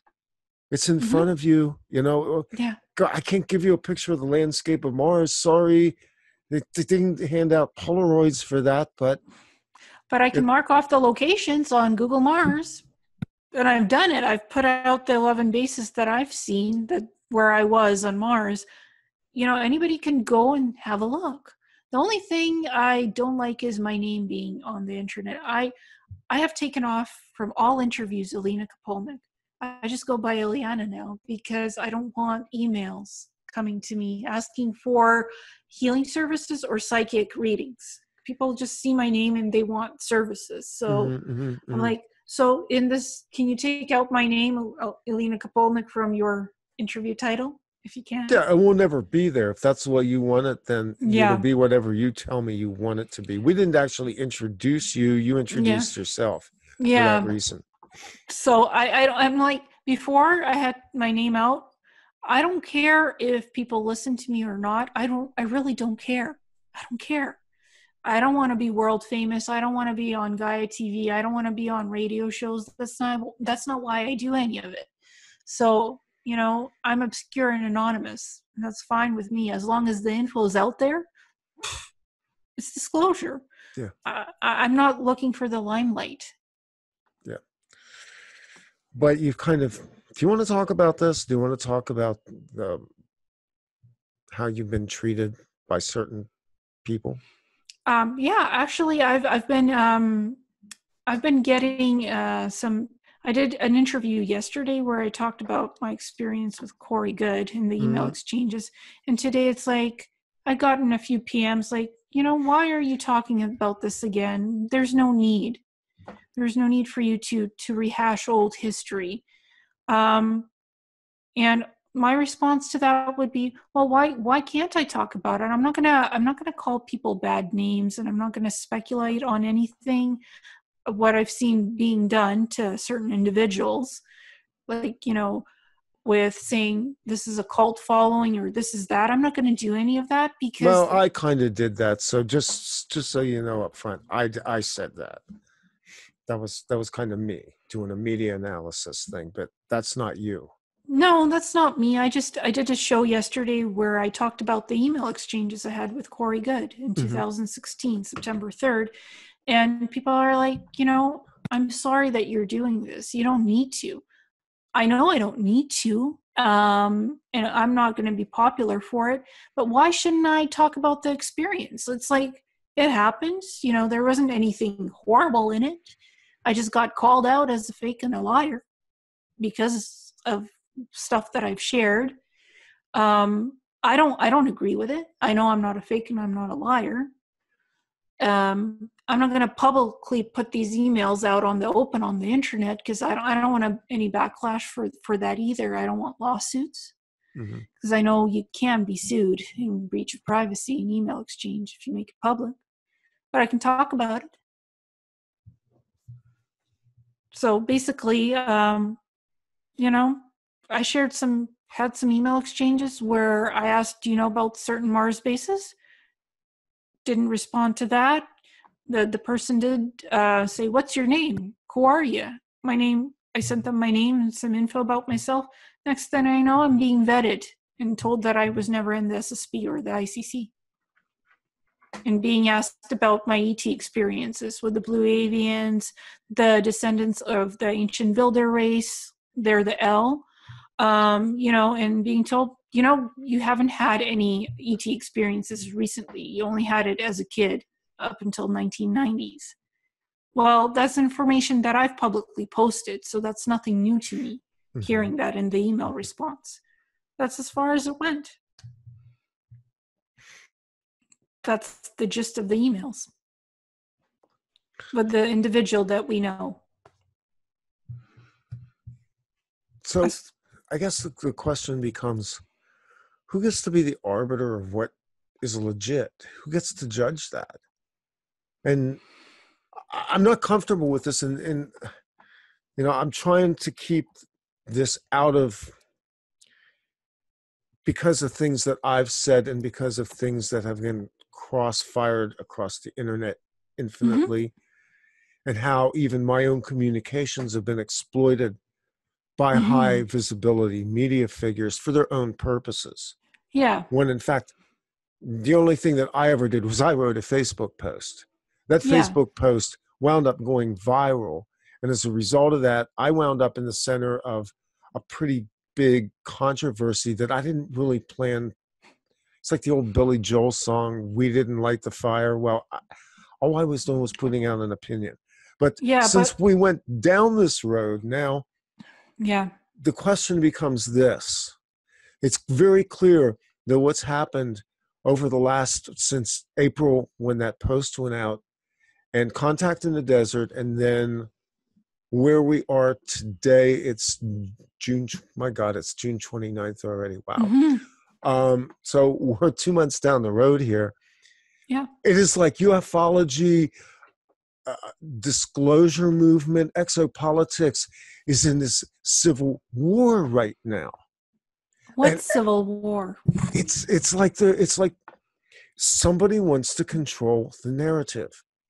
And yeah. what I don't understand is nobody controls the narrative. It's a conversation. No.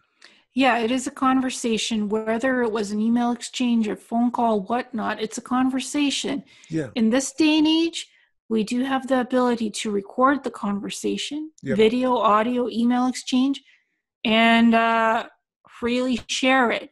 But the thing is, these people who've been saying we have this and this, they haven't shared any of it. So for me, you can't back it up with nothing. It's just lip flapping. Yeah. You're flapping your lips. Uh, do your research about people. The way I interpret it now is if there's whistleblowers or somebody, an insider, I look at the person and I look at the information that they're putting Yeah. out. I look at both these days. That's what I've learned to do from my Corey Goode email exchanges. Um, the information is sensational. The person is sensational. And, you know, that person has a huge following. Corey Goode has a huge following. And that's fine. I don't I don't care. Whatever. Have your fans, have your following, do whatever you're doing. Just just be a little bit nicer to people. Um I didn't appreciate being called a liar and a fake. Um and I, I certainly don't know why he put himself out as the authority figure to vet people. Maybe he's, you know, that's the the the program he's in probably said, "Hey, you can do this. Go do it," and he's doing it. It's not the program that he came out with, though, is it? Because the program that he came out with was the the Blue Avian revelations, which said that this would not have a leader, it would not Mhm. be a cult, and that it was all about forgiveness of self and forgiveness of others. And let's define the word forgiveness for a minute, because it's not, oh, you screwed up, and now I need to grant you sanction or forgiveness forgiveness is cutting somebody slack on a human level which means you come to me as we've done in this in this talk Mhm. with your story your narrative and you're completely open and candid and Yeah. uh, you know my interactions with you have been so pure that i look at the conversation and and, and i just accept this for who you are and for what you're putting out and i would like to be able to do that with everybody that comes forward so the standard then becomes what is the person really like? So when i see the level of I, I've, I've I've been attacked savagely by people in the Corey Goode camp who have said that I am divisive, I'm a troublemaker, I'm trying to make a name for myself, and I'm going, um, no, actually, what I'm doing here is I'm assessing the character of the person and the message of the person. Yeah, and that's how I got to know Corey Goode through the emails. I got to know the person of who he is and what his belief systems are and what his encounters and experiences are. I got to know that through digital email exchange. Never spoken on the phone with him, but he I know he firmly believes everything that's happened to him. That is this this is his reality. He's living this. And that's his story and that's fine for him. I just didn't choose to believe what he was telling me. Yeah, that's kind of where we came away from it too. You know, having gone back, pardon me,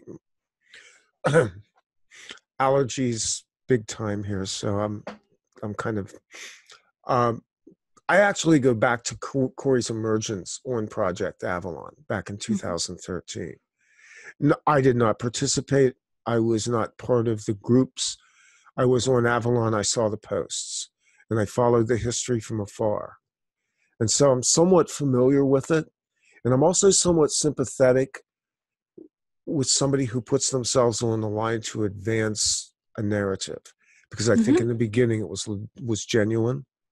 Yeah. And this is what Christina and Anderson and I talked about as well. I'm not here to judge that, but I'm horrified. I'm horrified at the state of this alternative internet fishbowl that we're in to the point where over the last couple months, quite honestly, I felt like just packing it in. I've been doing shows on this kind of material since 2007 almost 10 years. Mhm. And I've watched it get by progression more petty, more divisive, more sensational. Mhm. And I've interviewed people from all walks of lives who have had a va- variety of experiences. Some of those people were well known, some of them were complete unknowns. Some of the recordings never were aired. Mhm. I still have them sitting on my hard drive because my rule was like yours. I want to hear your story. Now we Yeah. didn't do videos in the early days, but voice is a pretty good way to convey the energetic profile of a person. Yeah, for sure. So I now look at the aggregate of all this and I'm like, this is what it's come down to bidding rights for TV shows and who's the most sensational so that we can sell commercials on the History Channel and subscriptions to Gaia TV. yeah, it's it's it's paid. Yeah. Um, If it's free information that's flowing on the YouTube channel, then people are more apt to to to to have a listen because it's free. Like there's there's no agenda or motive behind it to make money. Um, yet people have to earn a living and f- and feed themselves and their Mhm, families, mhm, and if yes. that's the only way you could feed yourself, that's how you do it. That's right. That's right. So Yeah. um, I don't want to be feeding myself that way through through through the money paid aspect of disclosure work. I, that's Mm-hmm. I just energetically don't want to do that. And people are saying you have an obsession with Corey Goode. You can't let go of what happened last year. I'm over that. That's not why I'm talking about it. It's just interesting to me. Why did this person do that? What was what was behind it? It's just interesting to me. So why can't I discuss that? Well, it's funny because it's a current conversation that's still going on.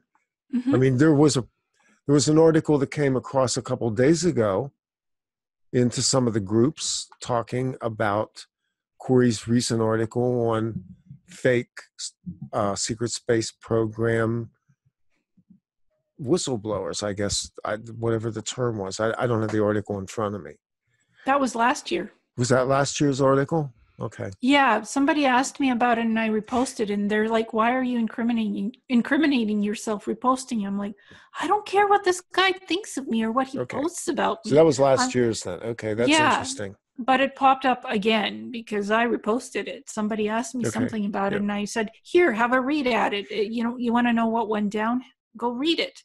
I'm not going to write a, a monologue about what what was written about me and what was written in that article per se because I had I I read the thing. I'm like, okay, well, you know, it was posted. Whatever. Who cares?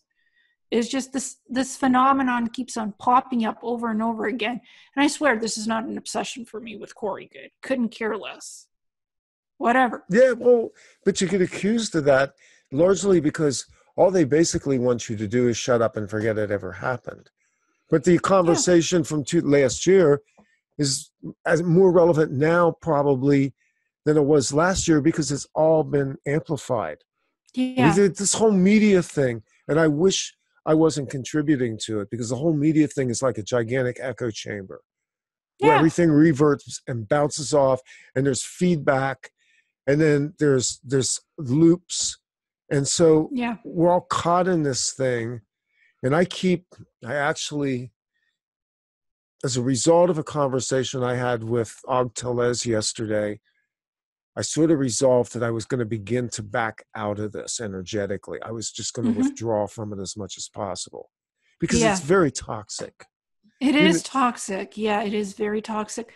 But Corey Goode has become a, a phenomenon, and people Yeah. just want to figure out okay, who is Corey Goode? What is the information he's putting out? Why is he doing this? What's behind the man?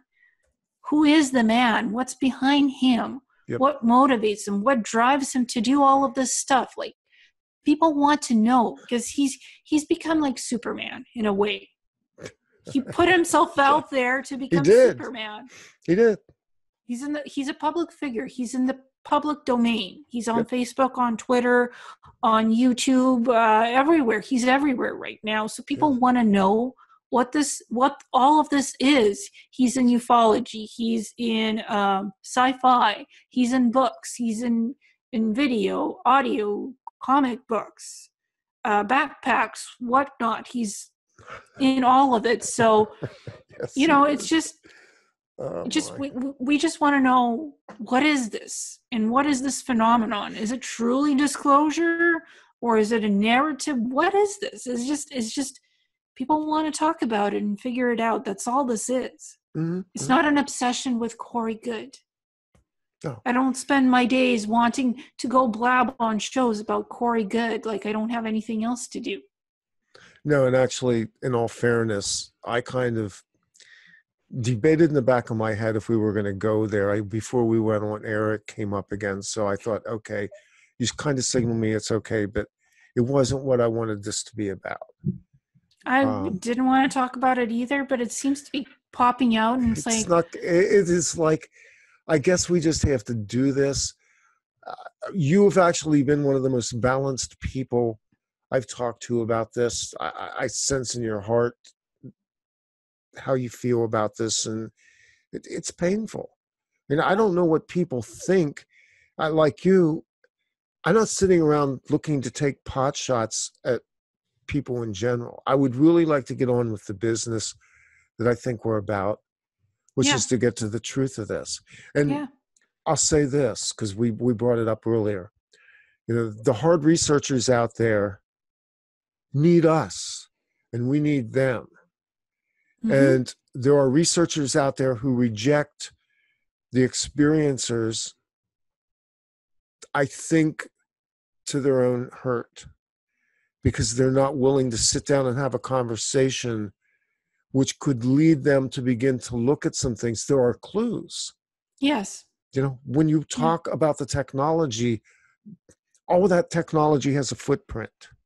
Yes, you know and the footprint is wide in history but it's also been covered over because Yeah. not only do they change times they're changing history on the fly too and they're rewriting it faster and faster now yeah. We're we're actually the living technology because we have the memory of all of those. exactly yeah We have the memory footprint Yeah. of it all. It's stored in cellular memory, and there's even studies about all of that.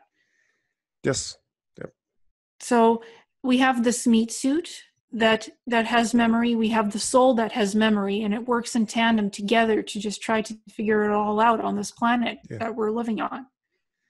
So, you know, um, and I really, like I said, I don't care what people think about me. I I'll discuss what I want to discuss freely and openly. Because why why should I Yeah. have to shut up? Uh, other people have done rebuttals. They've openly talked about you know, this person said this about me. Well, that's not how it is. Why should I have to just shut up and take it? I know I can take the higher moral route and I will. I won't mudsling. But I, if I want to dis- discuss my experience with so and so, why shouldn't I? Yeah. Yep.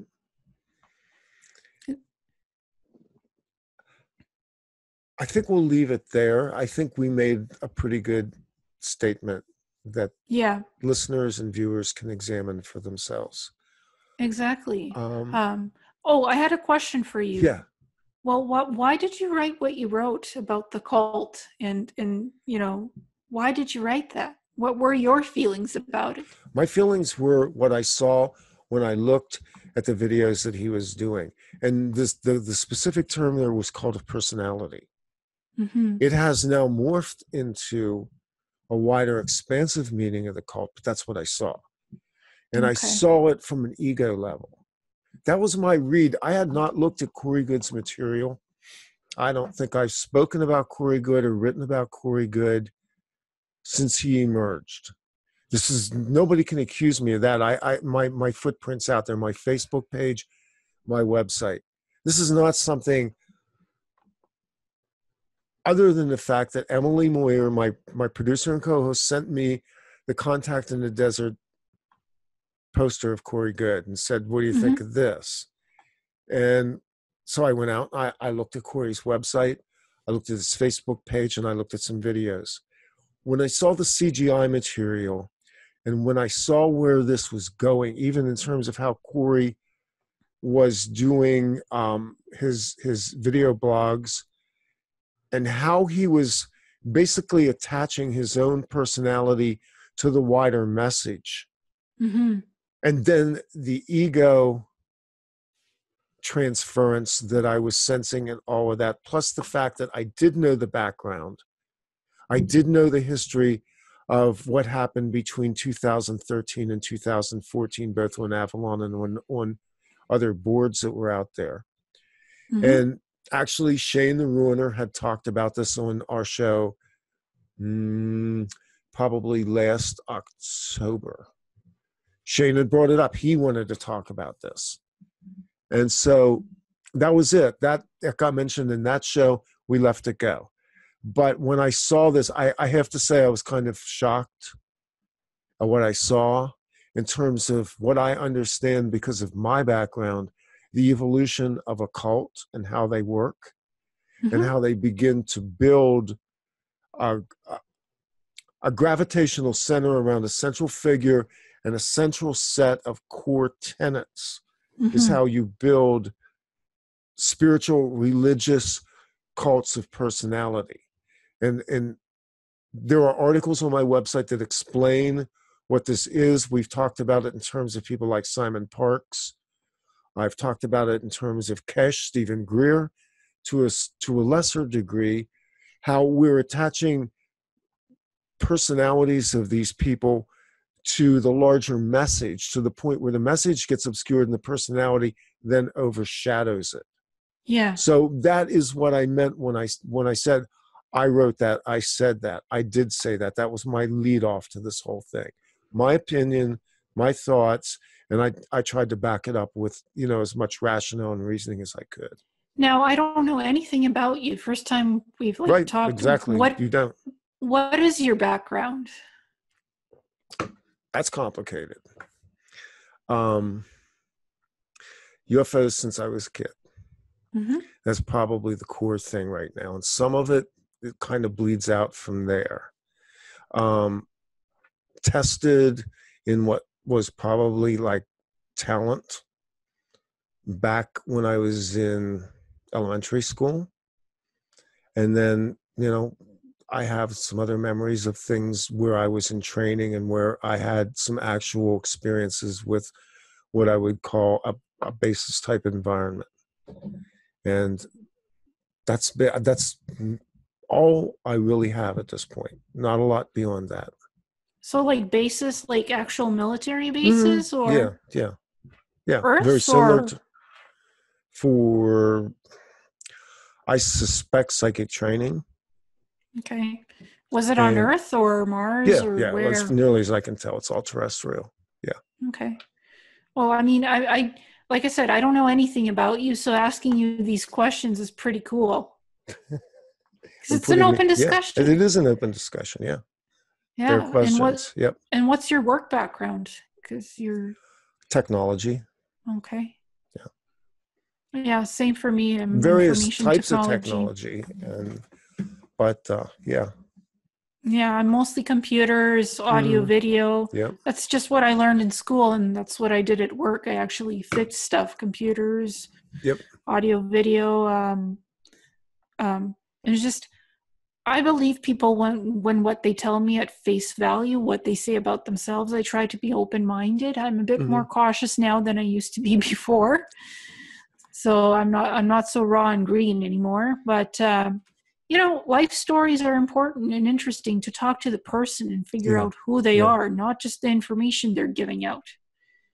These days, at least, that's a lesson I've learned. Hard lesson. I mean, I think it was a lot easier for me to be able to approach this. I won't say as a journalist, mm.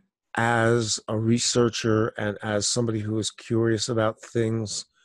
It was really, you know, and I've said this openly for years that doing this was I never planned any of this. Mm-hmm. I was actually on Christian radio and I kind of moved out of that. I kind of I went through kind of a spiritual change. And so as I was transitioning, I was looking at this other stuff, and some of the stuff has always been things I was interested in. And all of it sits in the background of a larger experience. So, mm-hmm. as this show evolved, it found its own center because I began. I remember in 2007, uh, no, 2009, a friend of mine said, Yeah, I saw your new UFO show. And I said, It's not a UFO show. And he said, Well, it's called Off Planet. And I said, Well, that's actually anchored more in a concept that I had of pirate radio, which was a thing back in the 70s, uh, largely in the UK, with Radio Caroline and these, these boats that sat offshore that broadcast radio. And I just took the metaphor and extended it. Wouldn't it be cool to do that off world? So yeah. it was originally off world radio. I couldn't get the domain for that, so it became off planet radio but it never was a UFO show. But it, that, that's a component to it. The other component to it was delving into mind control and black projects, and each step of the way was kind of not only research, but it was it was me looking for me in the midst of all that. And I found voices and I found people who brought stories to the table that amplified things in a way that made sense and made it more comfortable to talk about things that, quite honestly, I didn't have a language for. So a lot of this was self discovery, and a lot of it still is. And I hmm. sense that it's probably the same for you. You, you seem to have a much better set of memories than many people do um, more complete?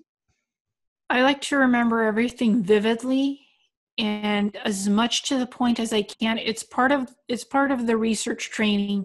Like in school, I was taught to dig, dig, dig for the information until I get it, until I find it, hmm. and um, we were taught to to to set up simulations and experiments and to have validation behind the experiment you know mm-hmm. if we were doing a business project set it up set up the business project as if it's alive as yeah, if it's yeah, you yeah. know it's in progress it's being done and then validate the uh, the results of the finished work of that experiment business project whatnot uh, because I had psychology, I took psychology courses, I took library courses, I took uh, business management, I took mm-hmm. supervisory courses, and in all of that stuff, you had to back up your research with valid information that was clearly stated in all the reports and projects. So, whatever you did, you had to simulate it actually as if it was happening, as if you were creating that thing that you were writing your report about. That's how the library world works. You have to have real time data to back up your stuff. So, and to dig, dig, dig deep and have multiple sources to back up whatever you're doing and make sure they're legit and credible.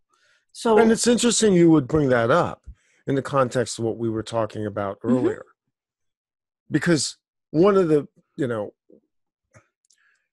one of the I, I don't want to say accusations, but it actually is, is that these people were just telling stories. They're just making making things up where they have overacted back to all of the circuitous arguments about why this isn't real it's not real because you can't produce document and but you just you just brought brought us back full circle again because the act of what we're doing which is confirmational which is you've interviewed people i've interviewed people. Yeah.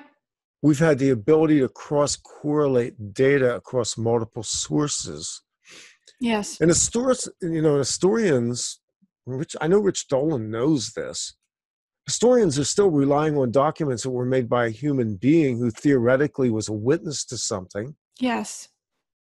Or maybe in some cases you have stela or you have glyphs or you have some sort of writing in caves or you have scrolls or something. But all of that's been transmitted by humans who were witnesses and experiences at the time. Yes. Including, by the way, documents that come out of FOIA requests and archives and things like that. They've all well, passed through human hands, and we all know how well that's been containerized by the boys at the company. Well, I've worked for archives. I've I've handled, you know, just library documentation, pictures, information about universities, stuff like that. And that's incredible sources of information. Yep. And FOIA is like it is just basically gathering information. What is FOIA? Can you say the full name of it? Freedom of Information Act. There you go, Freedom of Information Act, and in, in some countries it's it's a little bit more it's got lenient. Other, yeah, every country in the West yes. has some mechanism for citizens theoretically to be able to access documents that are on some level of declassification, and that's important Yes. to remember as well. Yeah, and um, you know, there's rules and laws of it, a Freedom of Information Act. It, it might not be the same in every country. To a degree, it's different, right? And how it's run. Yeah, well, some of this is public public documents that corporations have to make public for the purpose of their shareholders and investors. Yes, So we need not forget that government is a corporation. So it is. um, there's certain proprietary information that they they will release, and there's certain proprietary information they're under no obligation to release because of trade secrets. hmm When we talk about classification under the National Security Act, that was effectively a classification system for a, a corporatized government, hmm as Rich Dolan himself Yes. has, has written about. Yeah, he has. And it's interesting. You have a uh, you have a background in library science. Is that correct? Yes. Yeah. Background is in uh, actually document management and retrieval, Yes. largely in electronic retrieval systems. And part of my background is that in the '90s, I was I was I was marketing, and I was a sales engineer for Minolta Corporation, marketing hybrid systems to scan both printed bound materials and microfilm and microfiche as well. Oh, So we were doing so we were doing consulting on a whole bunch of levels for companies who were scurrying then to bring their archived materials into the digital domain because of what was coming under the digital uh, Yeah. millennium acts that were being enacted by the Clinton administration, which were requirements that these agencies and public organizations bring their materials forward into the digital domain. Yeah, and uh, I actually worked with Minolta readers, showed people how to use them, and it's it's so glad we Mm-hmm. Yeah, have yeah. scanners and computers now because those things are hard to to use. They're not Very hard to use. Yeah, it was, but it was the best technology that they would allow us to have at the time to be able to to scan that, that type of material. And they could print too. Those Minolta Mhm. readers could print, and they'd always have paper jams in the tray Mhm. at the bottom. It's like, oh It's not a company that was particularly good at making printers. No. oh, and, changing the toner, you'd literally have uh, powder in your face. You'd have to wear the bib Yeah. and the apron just to change Well, the toner ultimately, it took them down. Ultimately, Minolta got bought out by Konica, Yes. uh, which I, interestingly enough, I went on to work for Konica for a short period of time too. Things like that. But um, the point of all that is to say that um, the flow of information is is limited, but we're very aware of it. Yes. We're aware of how good it would be to have all this documentation. hmm But the truth of the matter is that you're dealing with corporations and agencies whose documents are not ever in the print domain. No. They're in the server They domain, were top never secret, there classified. to begin with. Yeah. No, they're they're on servers as pieces of little digital data in zeros and ones and twos and all. It's encrypted.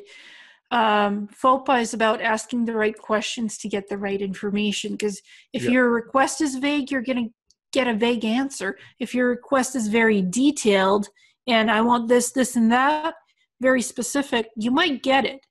Or you might get an interesting response back saying it's classified you don't have any access to it. Or you get nine yards of black magic marker on large reams of paper, Yeah, which is what a you lot of people get. And then you, you go through them and you hope that you can glean some context from documents that were clearly bleached, which yeah is what this is mostly about anyway. yeah it's all uh, or it's it's it's so double scanned over and over you can't read what the heck you got Yeah, yeah, yeah. The William Tompkins book that's out there. Um, you know, I that's a separate issue, but there's some of the documents that were presented there were, let's just say, they've suffered the ravages of time, and they don't necessarily, in my opinion, have documentary quality in terms of being processed in a way that there's here's the other thing it's called chain of evidence documents need to have that this is i learned this working with law firms of how they use documents to establish chain of evidence something that's very mm-hmm. important if you're going to present a court case and mm-hmm. use document documentation as evidentiary material so then same in the medical field same in the medical field exactly that was another another field that that I interfaced with. So we have problems in terms of documentation, but we don't have problems in terms of corroborative evidence.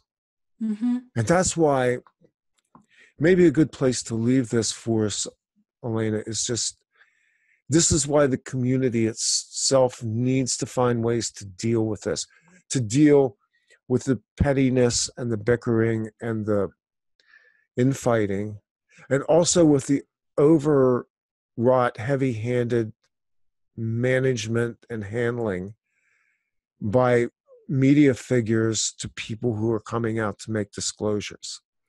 Um, what I don't, what I find inconsistent, there's no consistent protocols. No. The researchers have their own protocols, um, but how do you how do you vet these people that are coming out as SSP insiders or or ET contactees? How do you vet these people?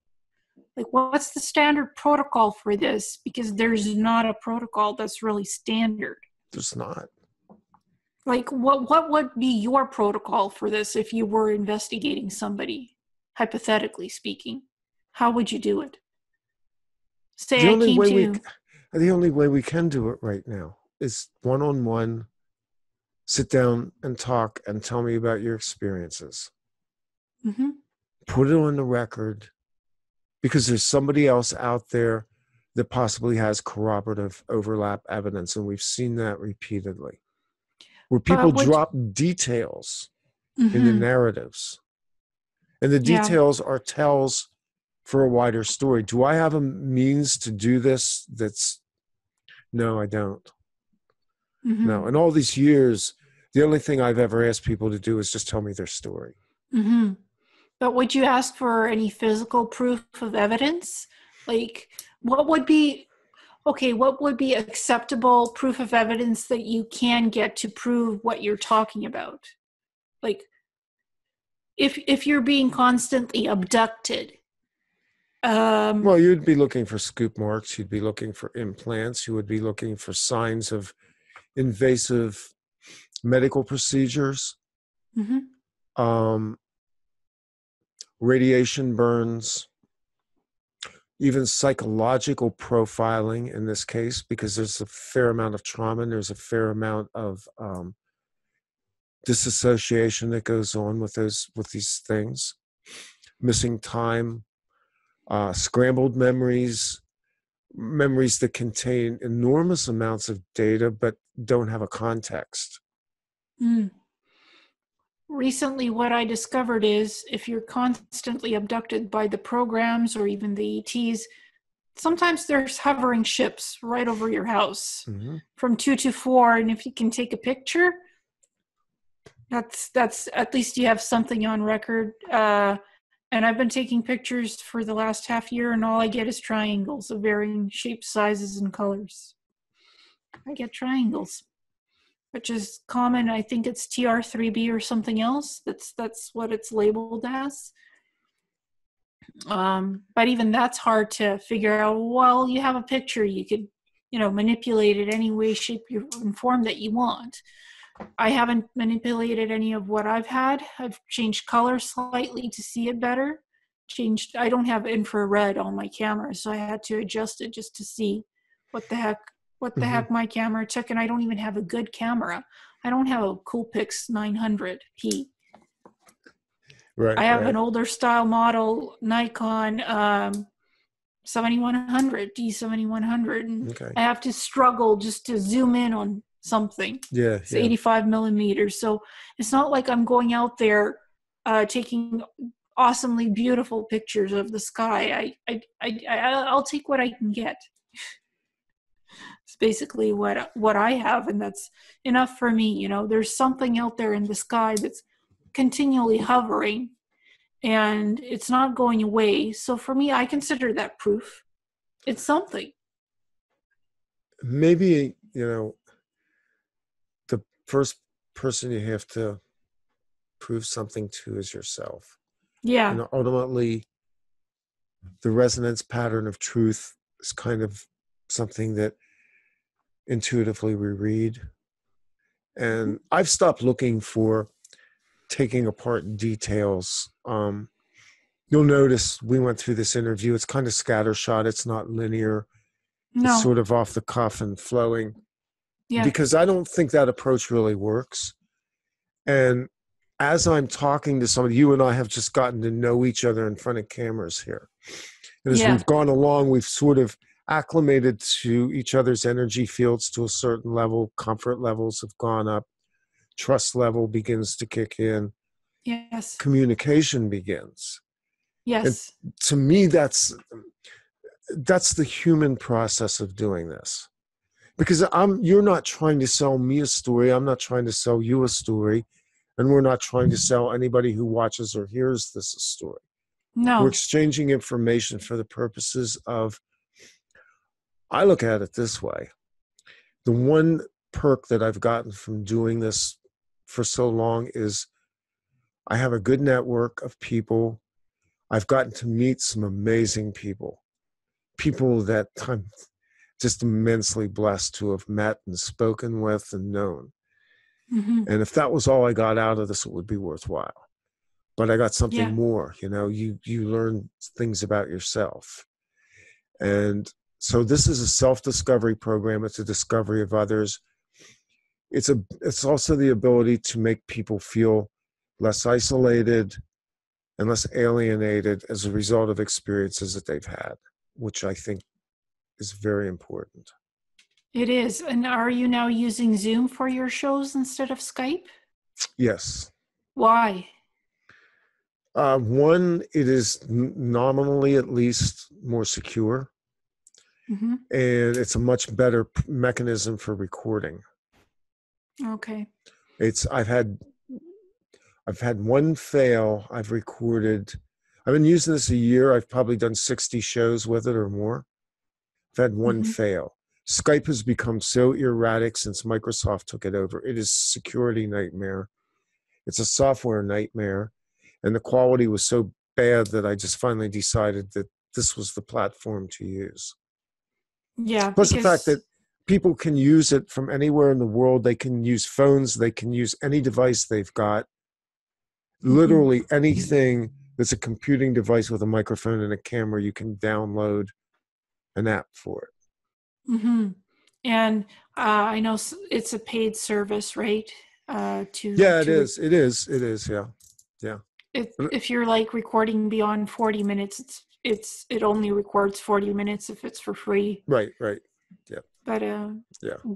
I, I've noticed the security issues with Skype and other uh, messenger apps and stuff like that. So I've seen a trend going to Zoom more. That's why I thought I'd ask you. Yeah. We tried using FaceTime. The problem is not everybody has Apple products, so FaceTime has a very limited appeal. And quite frankly, I wasn't all that impressed with FaceTime either.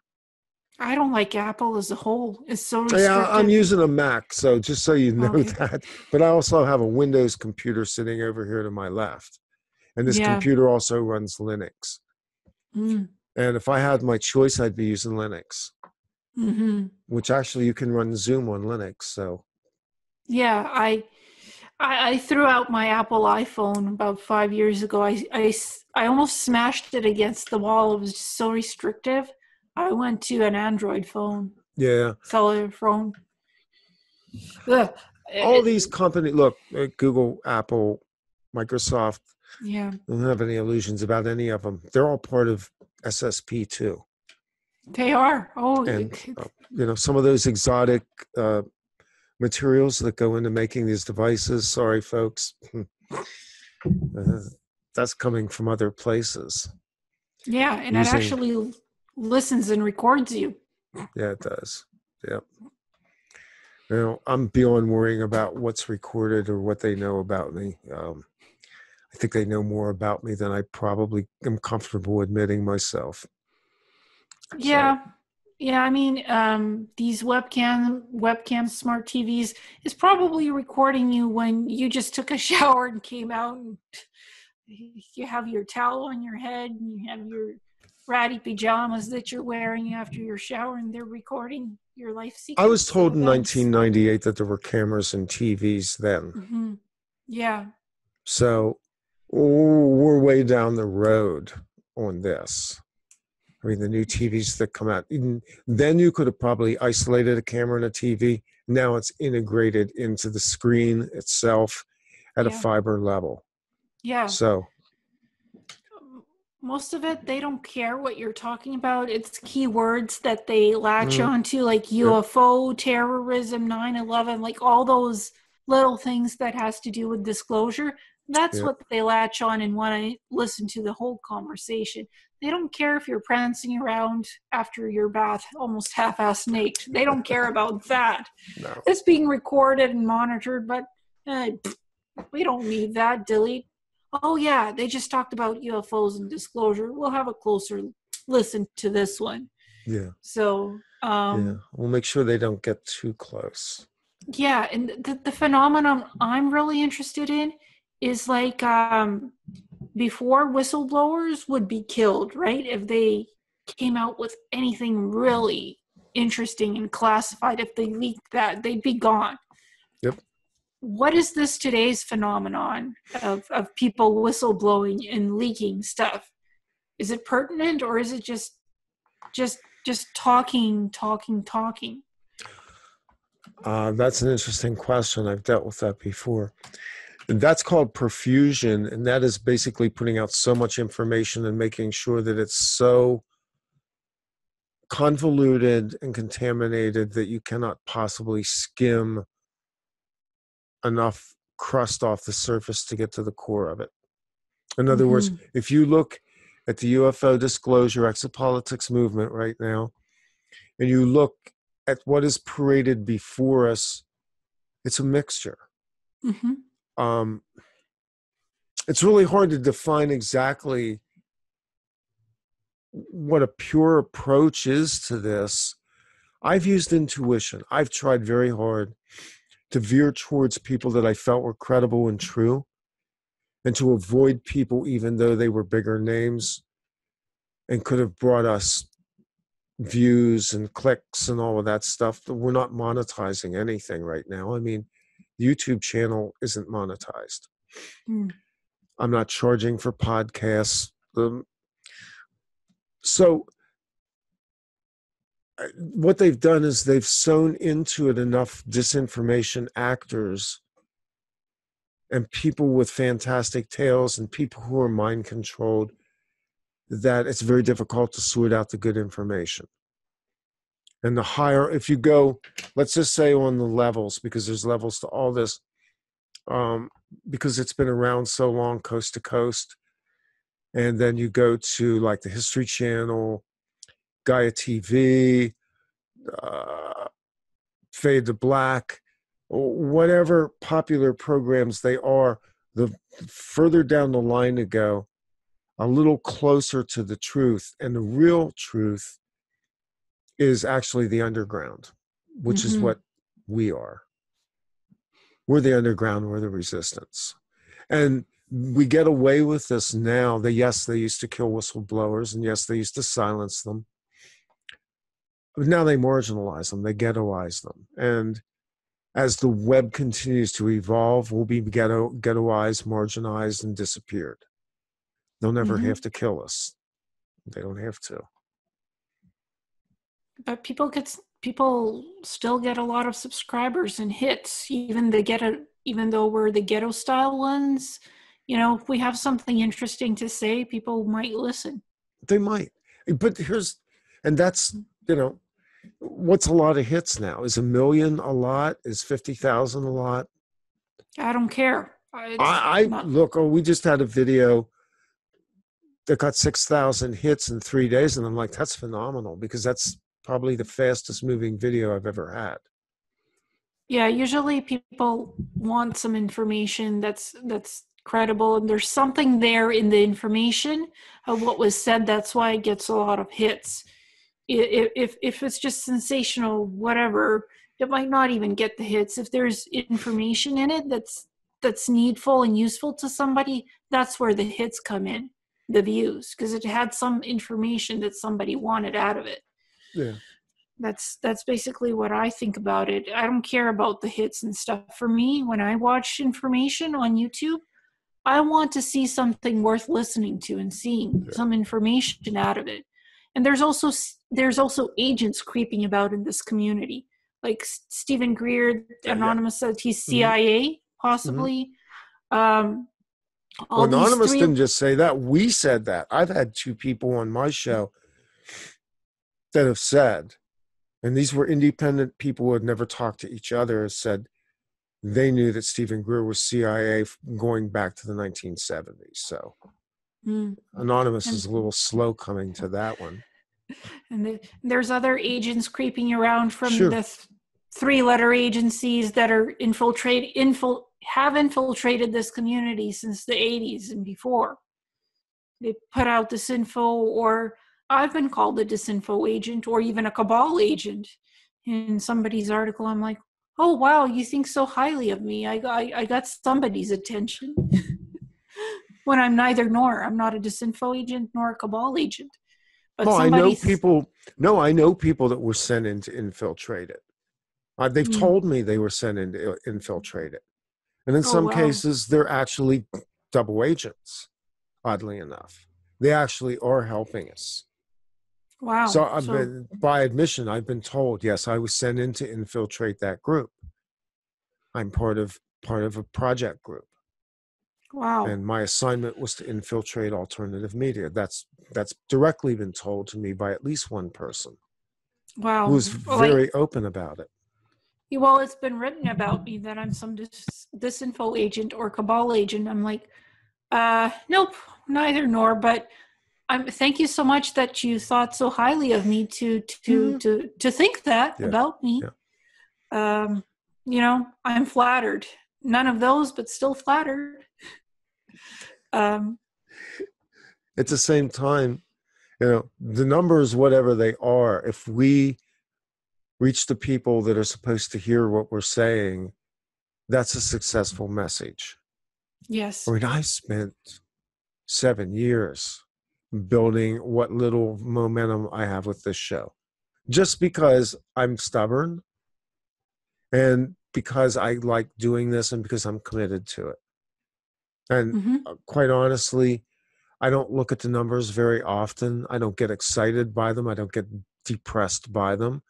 I don't go, well, why can't I have a show as big as Jimmy Black? I like, that's not what I do. That's, this is about reaching a certain group of people who yeah. need not only to be connected to the information, but to the community that is around this. Exactly. And I think yeah. the real attack is on the community. I don't even think it's on the information anymore. I think the real attack is on the community. It is. And what I discovered about YouTube, like last year, I didn't even know that people subscribed on YouTube. I discovered it by accident and I hid the stats.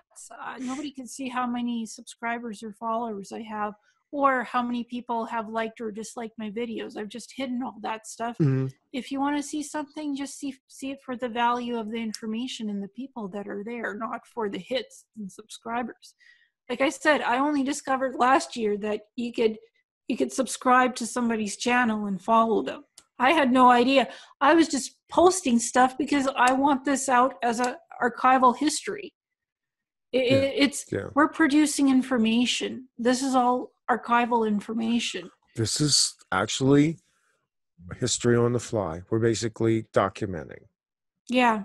Yeah, we have the capability to yeah. do it for free, to post for free. And that's that that's what had me exciting. So excited and it being exciting. I was just posting, posting and posting. And then I realized, you know what?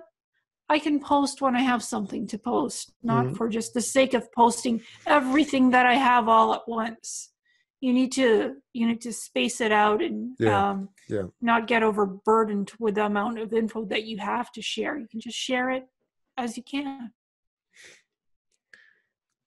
and the, the the art of discovery there's a discovery you know there Mhm. i know people i've seen people who wake up and they're like they're just furiously digging digging digging the information Yeah. and there's that whole sense of discovery that goes with finding information and i remember this feeling myself um, it was a little harder back when i was doing it because there really wasn't an internet.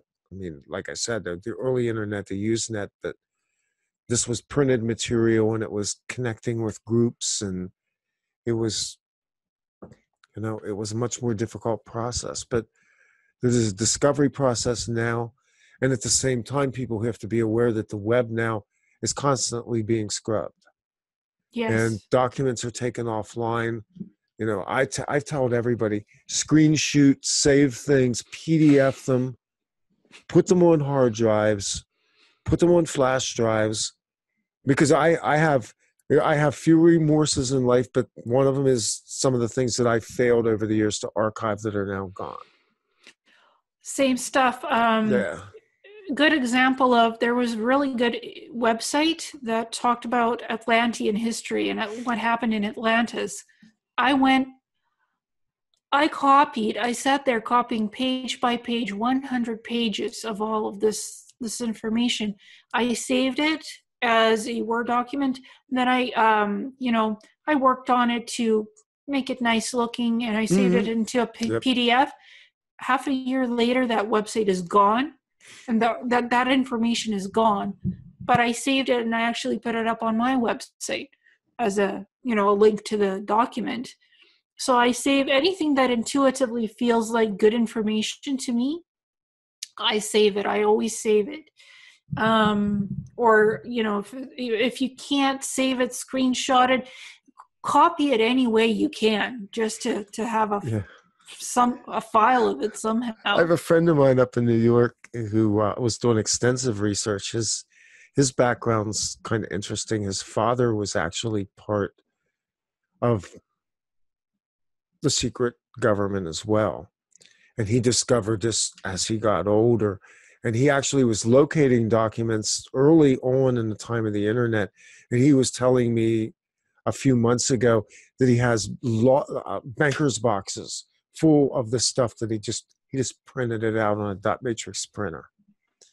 And he saved all this. Now he it's hardly retrievable at this point because it's all printed out and none of it's ever been indexed and filed and you know all the things that we should do with this data. But it was an interesting story about somebody who just went i'll just print all this stuff. And it's reams and reams of paper or that old green bar type stuff i guess that they used back in the days of dot matrix. You probably don't even remember that Oh, uh, I You know what a dot matrix printer is. Okay. Uh, we, I never used one, but I know how it works.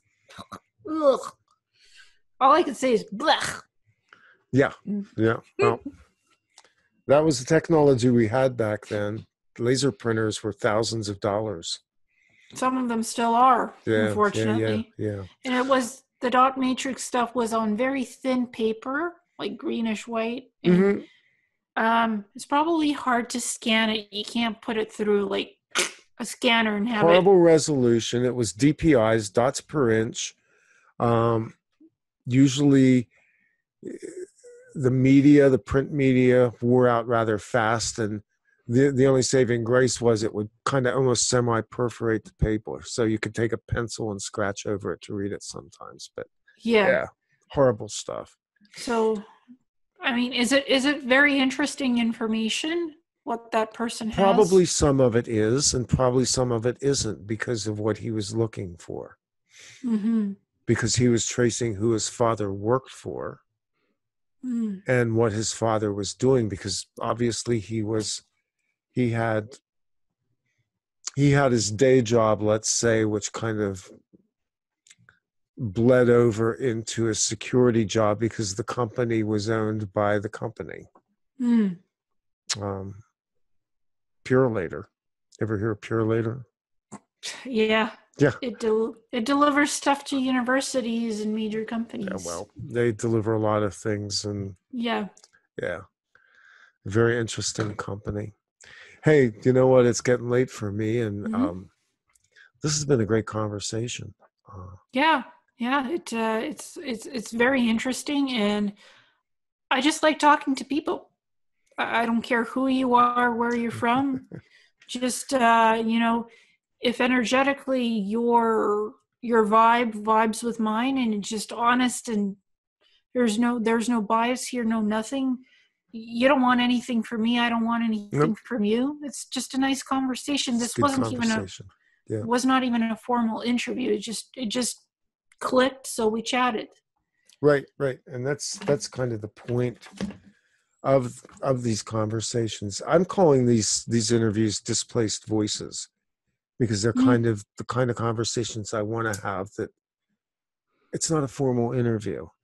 And it's you know, I want them to be with people who have not entered the mainstream or are not talking about mainstream subjects. This is about the kind of Yeah. stuff that just goes on in the you know Yeah, it, it it's alternative media. It's it's at its, it's best. yeah, it's even paranormal, sci-fi stuff. Um, it's it's a discovery discovery layer at Mhm. its at its at its purest of getting to know each other and discovering your layers, my layers, and you know Yeah. what there is Yeah. between the people. I I want to know the people. The information is fascinating, but I also want to know the person behind the information Yeah, because who you are reflects on your information. Your experiences reflect the information you put out. yeah, it does. Yep, very much. So it, it's it's all about uh, it's all about the people, the information, what you have, what you want, what you need, and just just putting it all out there. I don't, you know, I'll put it all out there what I have because I have nothing to fear from this. Um, I don't care about being judged, and I'm independent. Just my YouTube channel and just me. I do it all myself. I don't let any other uh, outside parties into my business because then my business is no longer mine. Yeah, It, it's it's controlled by somebody else. So that's how it happens. You want something right done, do it yourself. Exactly. Yeah, we're kind of DIY people, aren't we? Yeah. Yeah, Yeah. get the screwdriver out. Let's tear this thing apart. Yep. Well, For let's sure. wrap it there one more time Yep. um, for the end of this. Your website. Messages from a star traveler. There we go.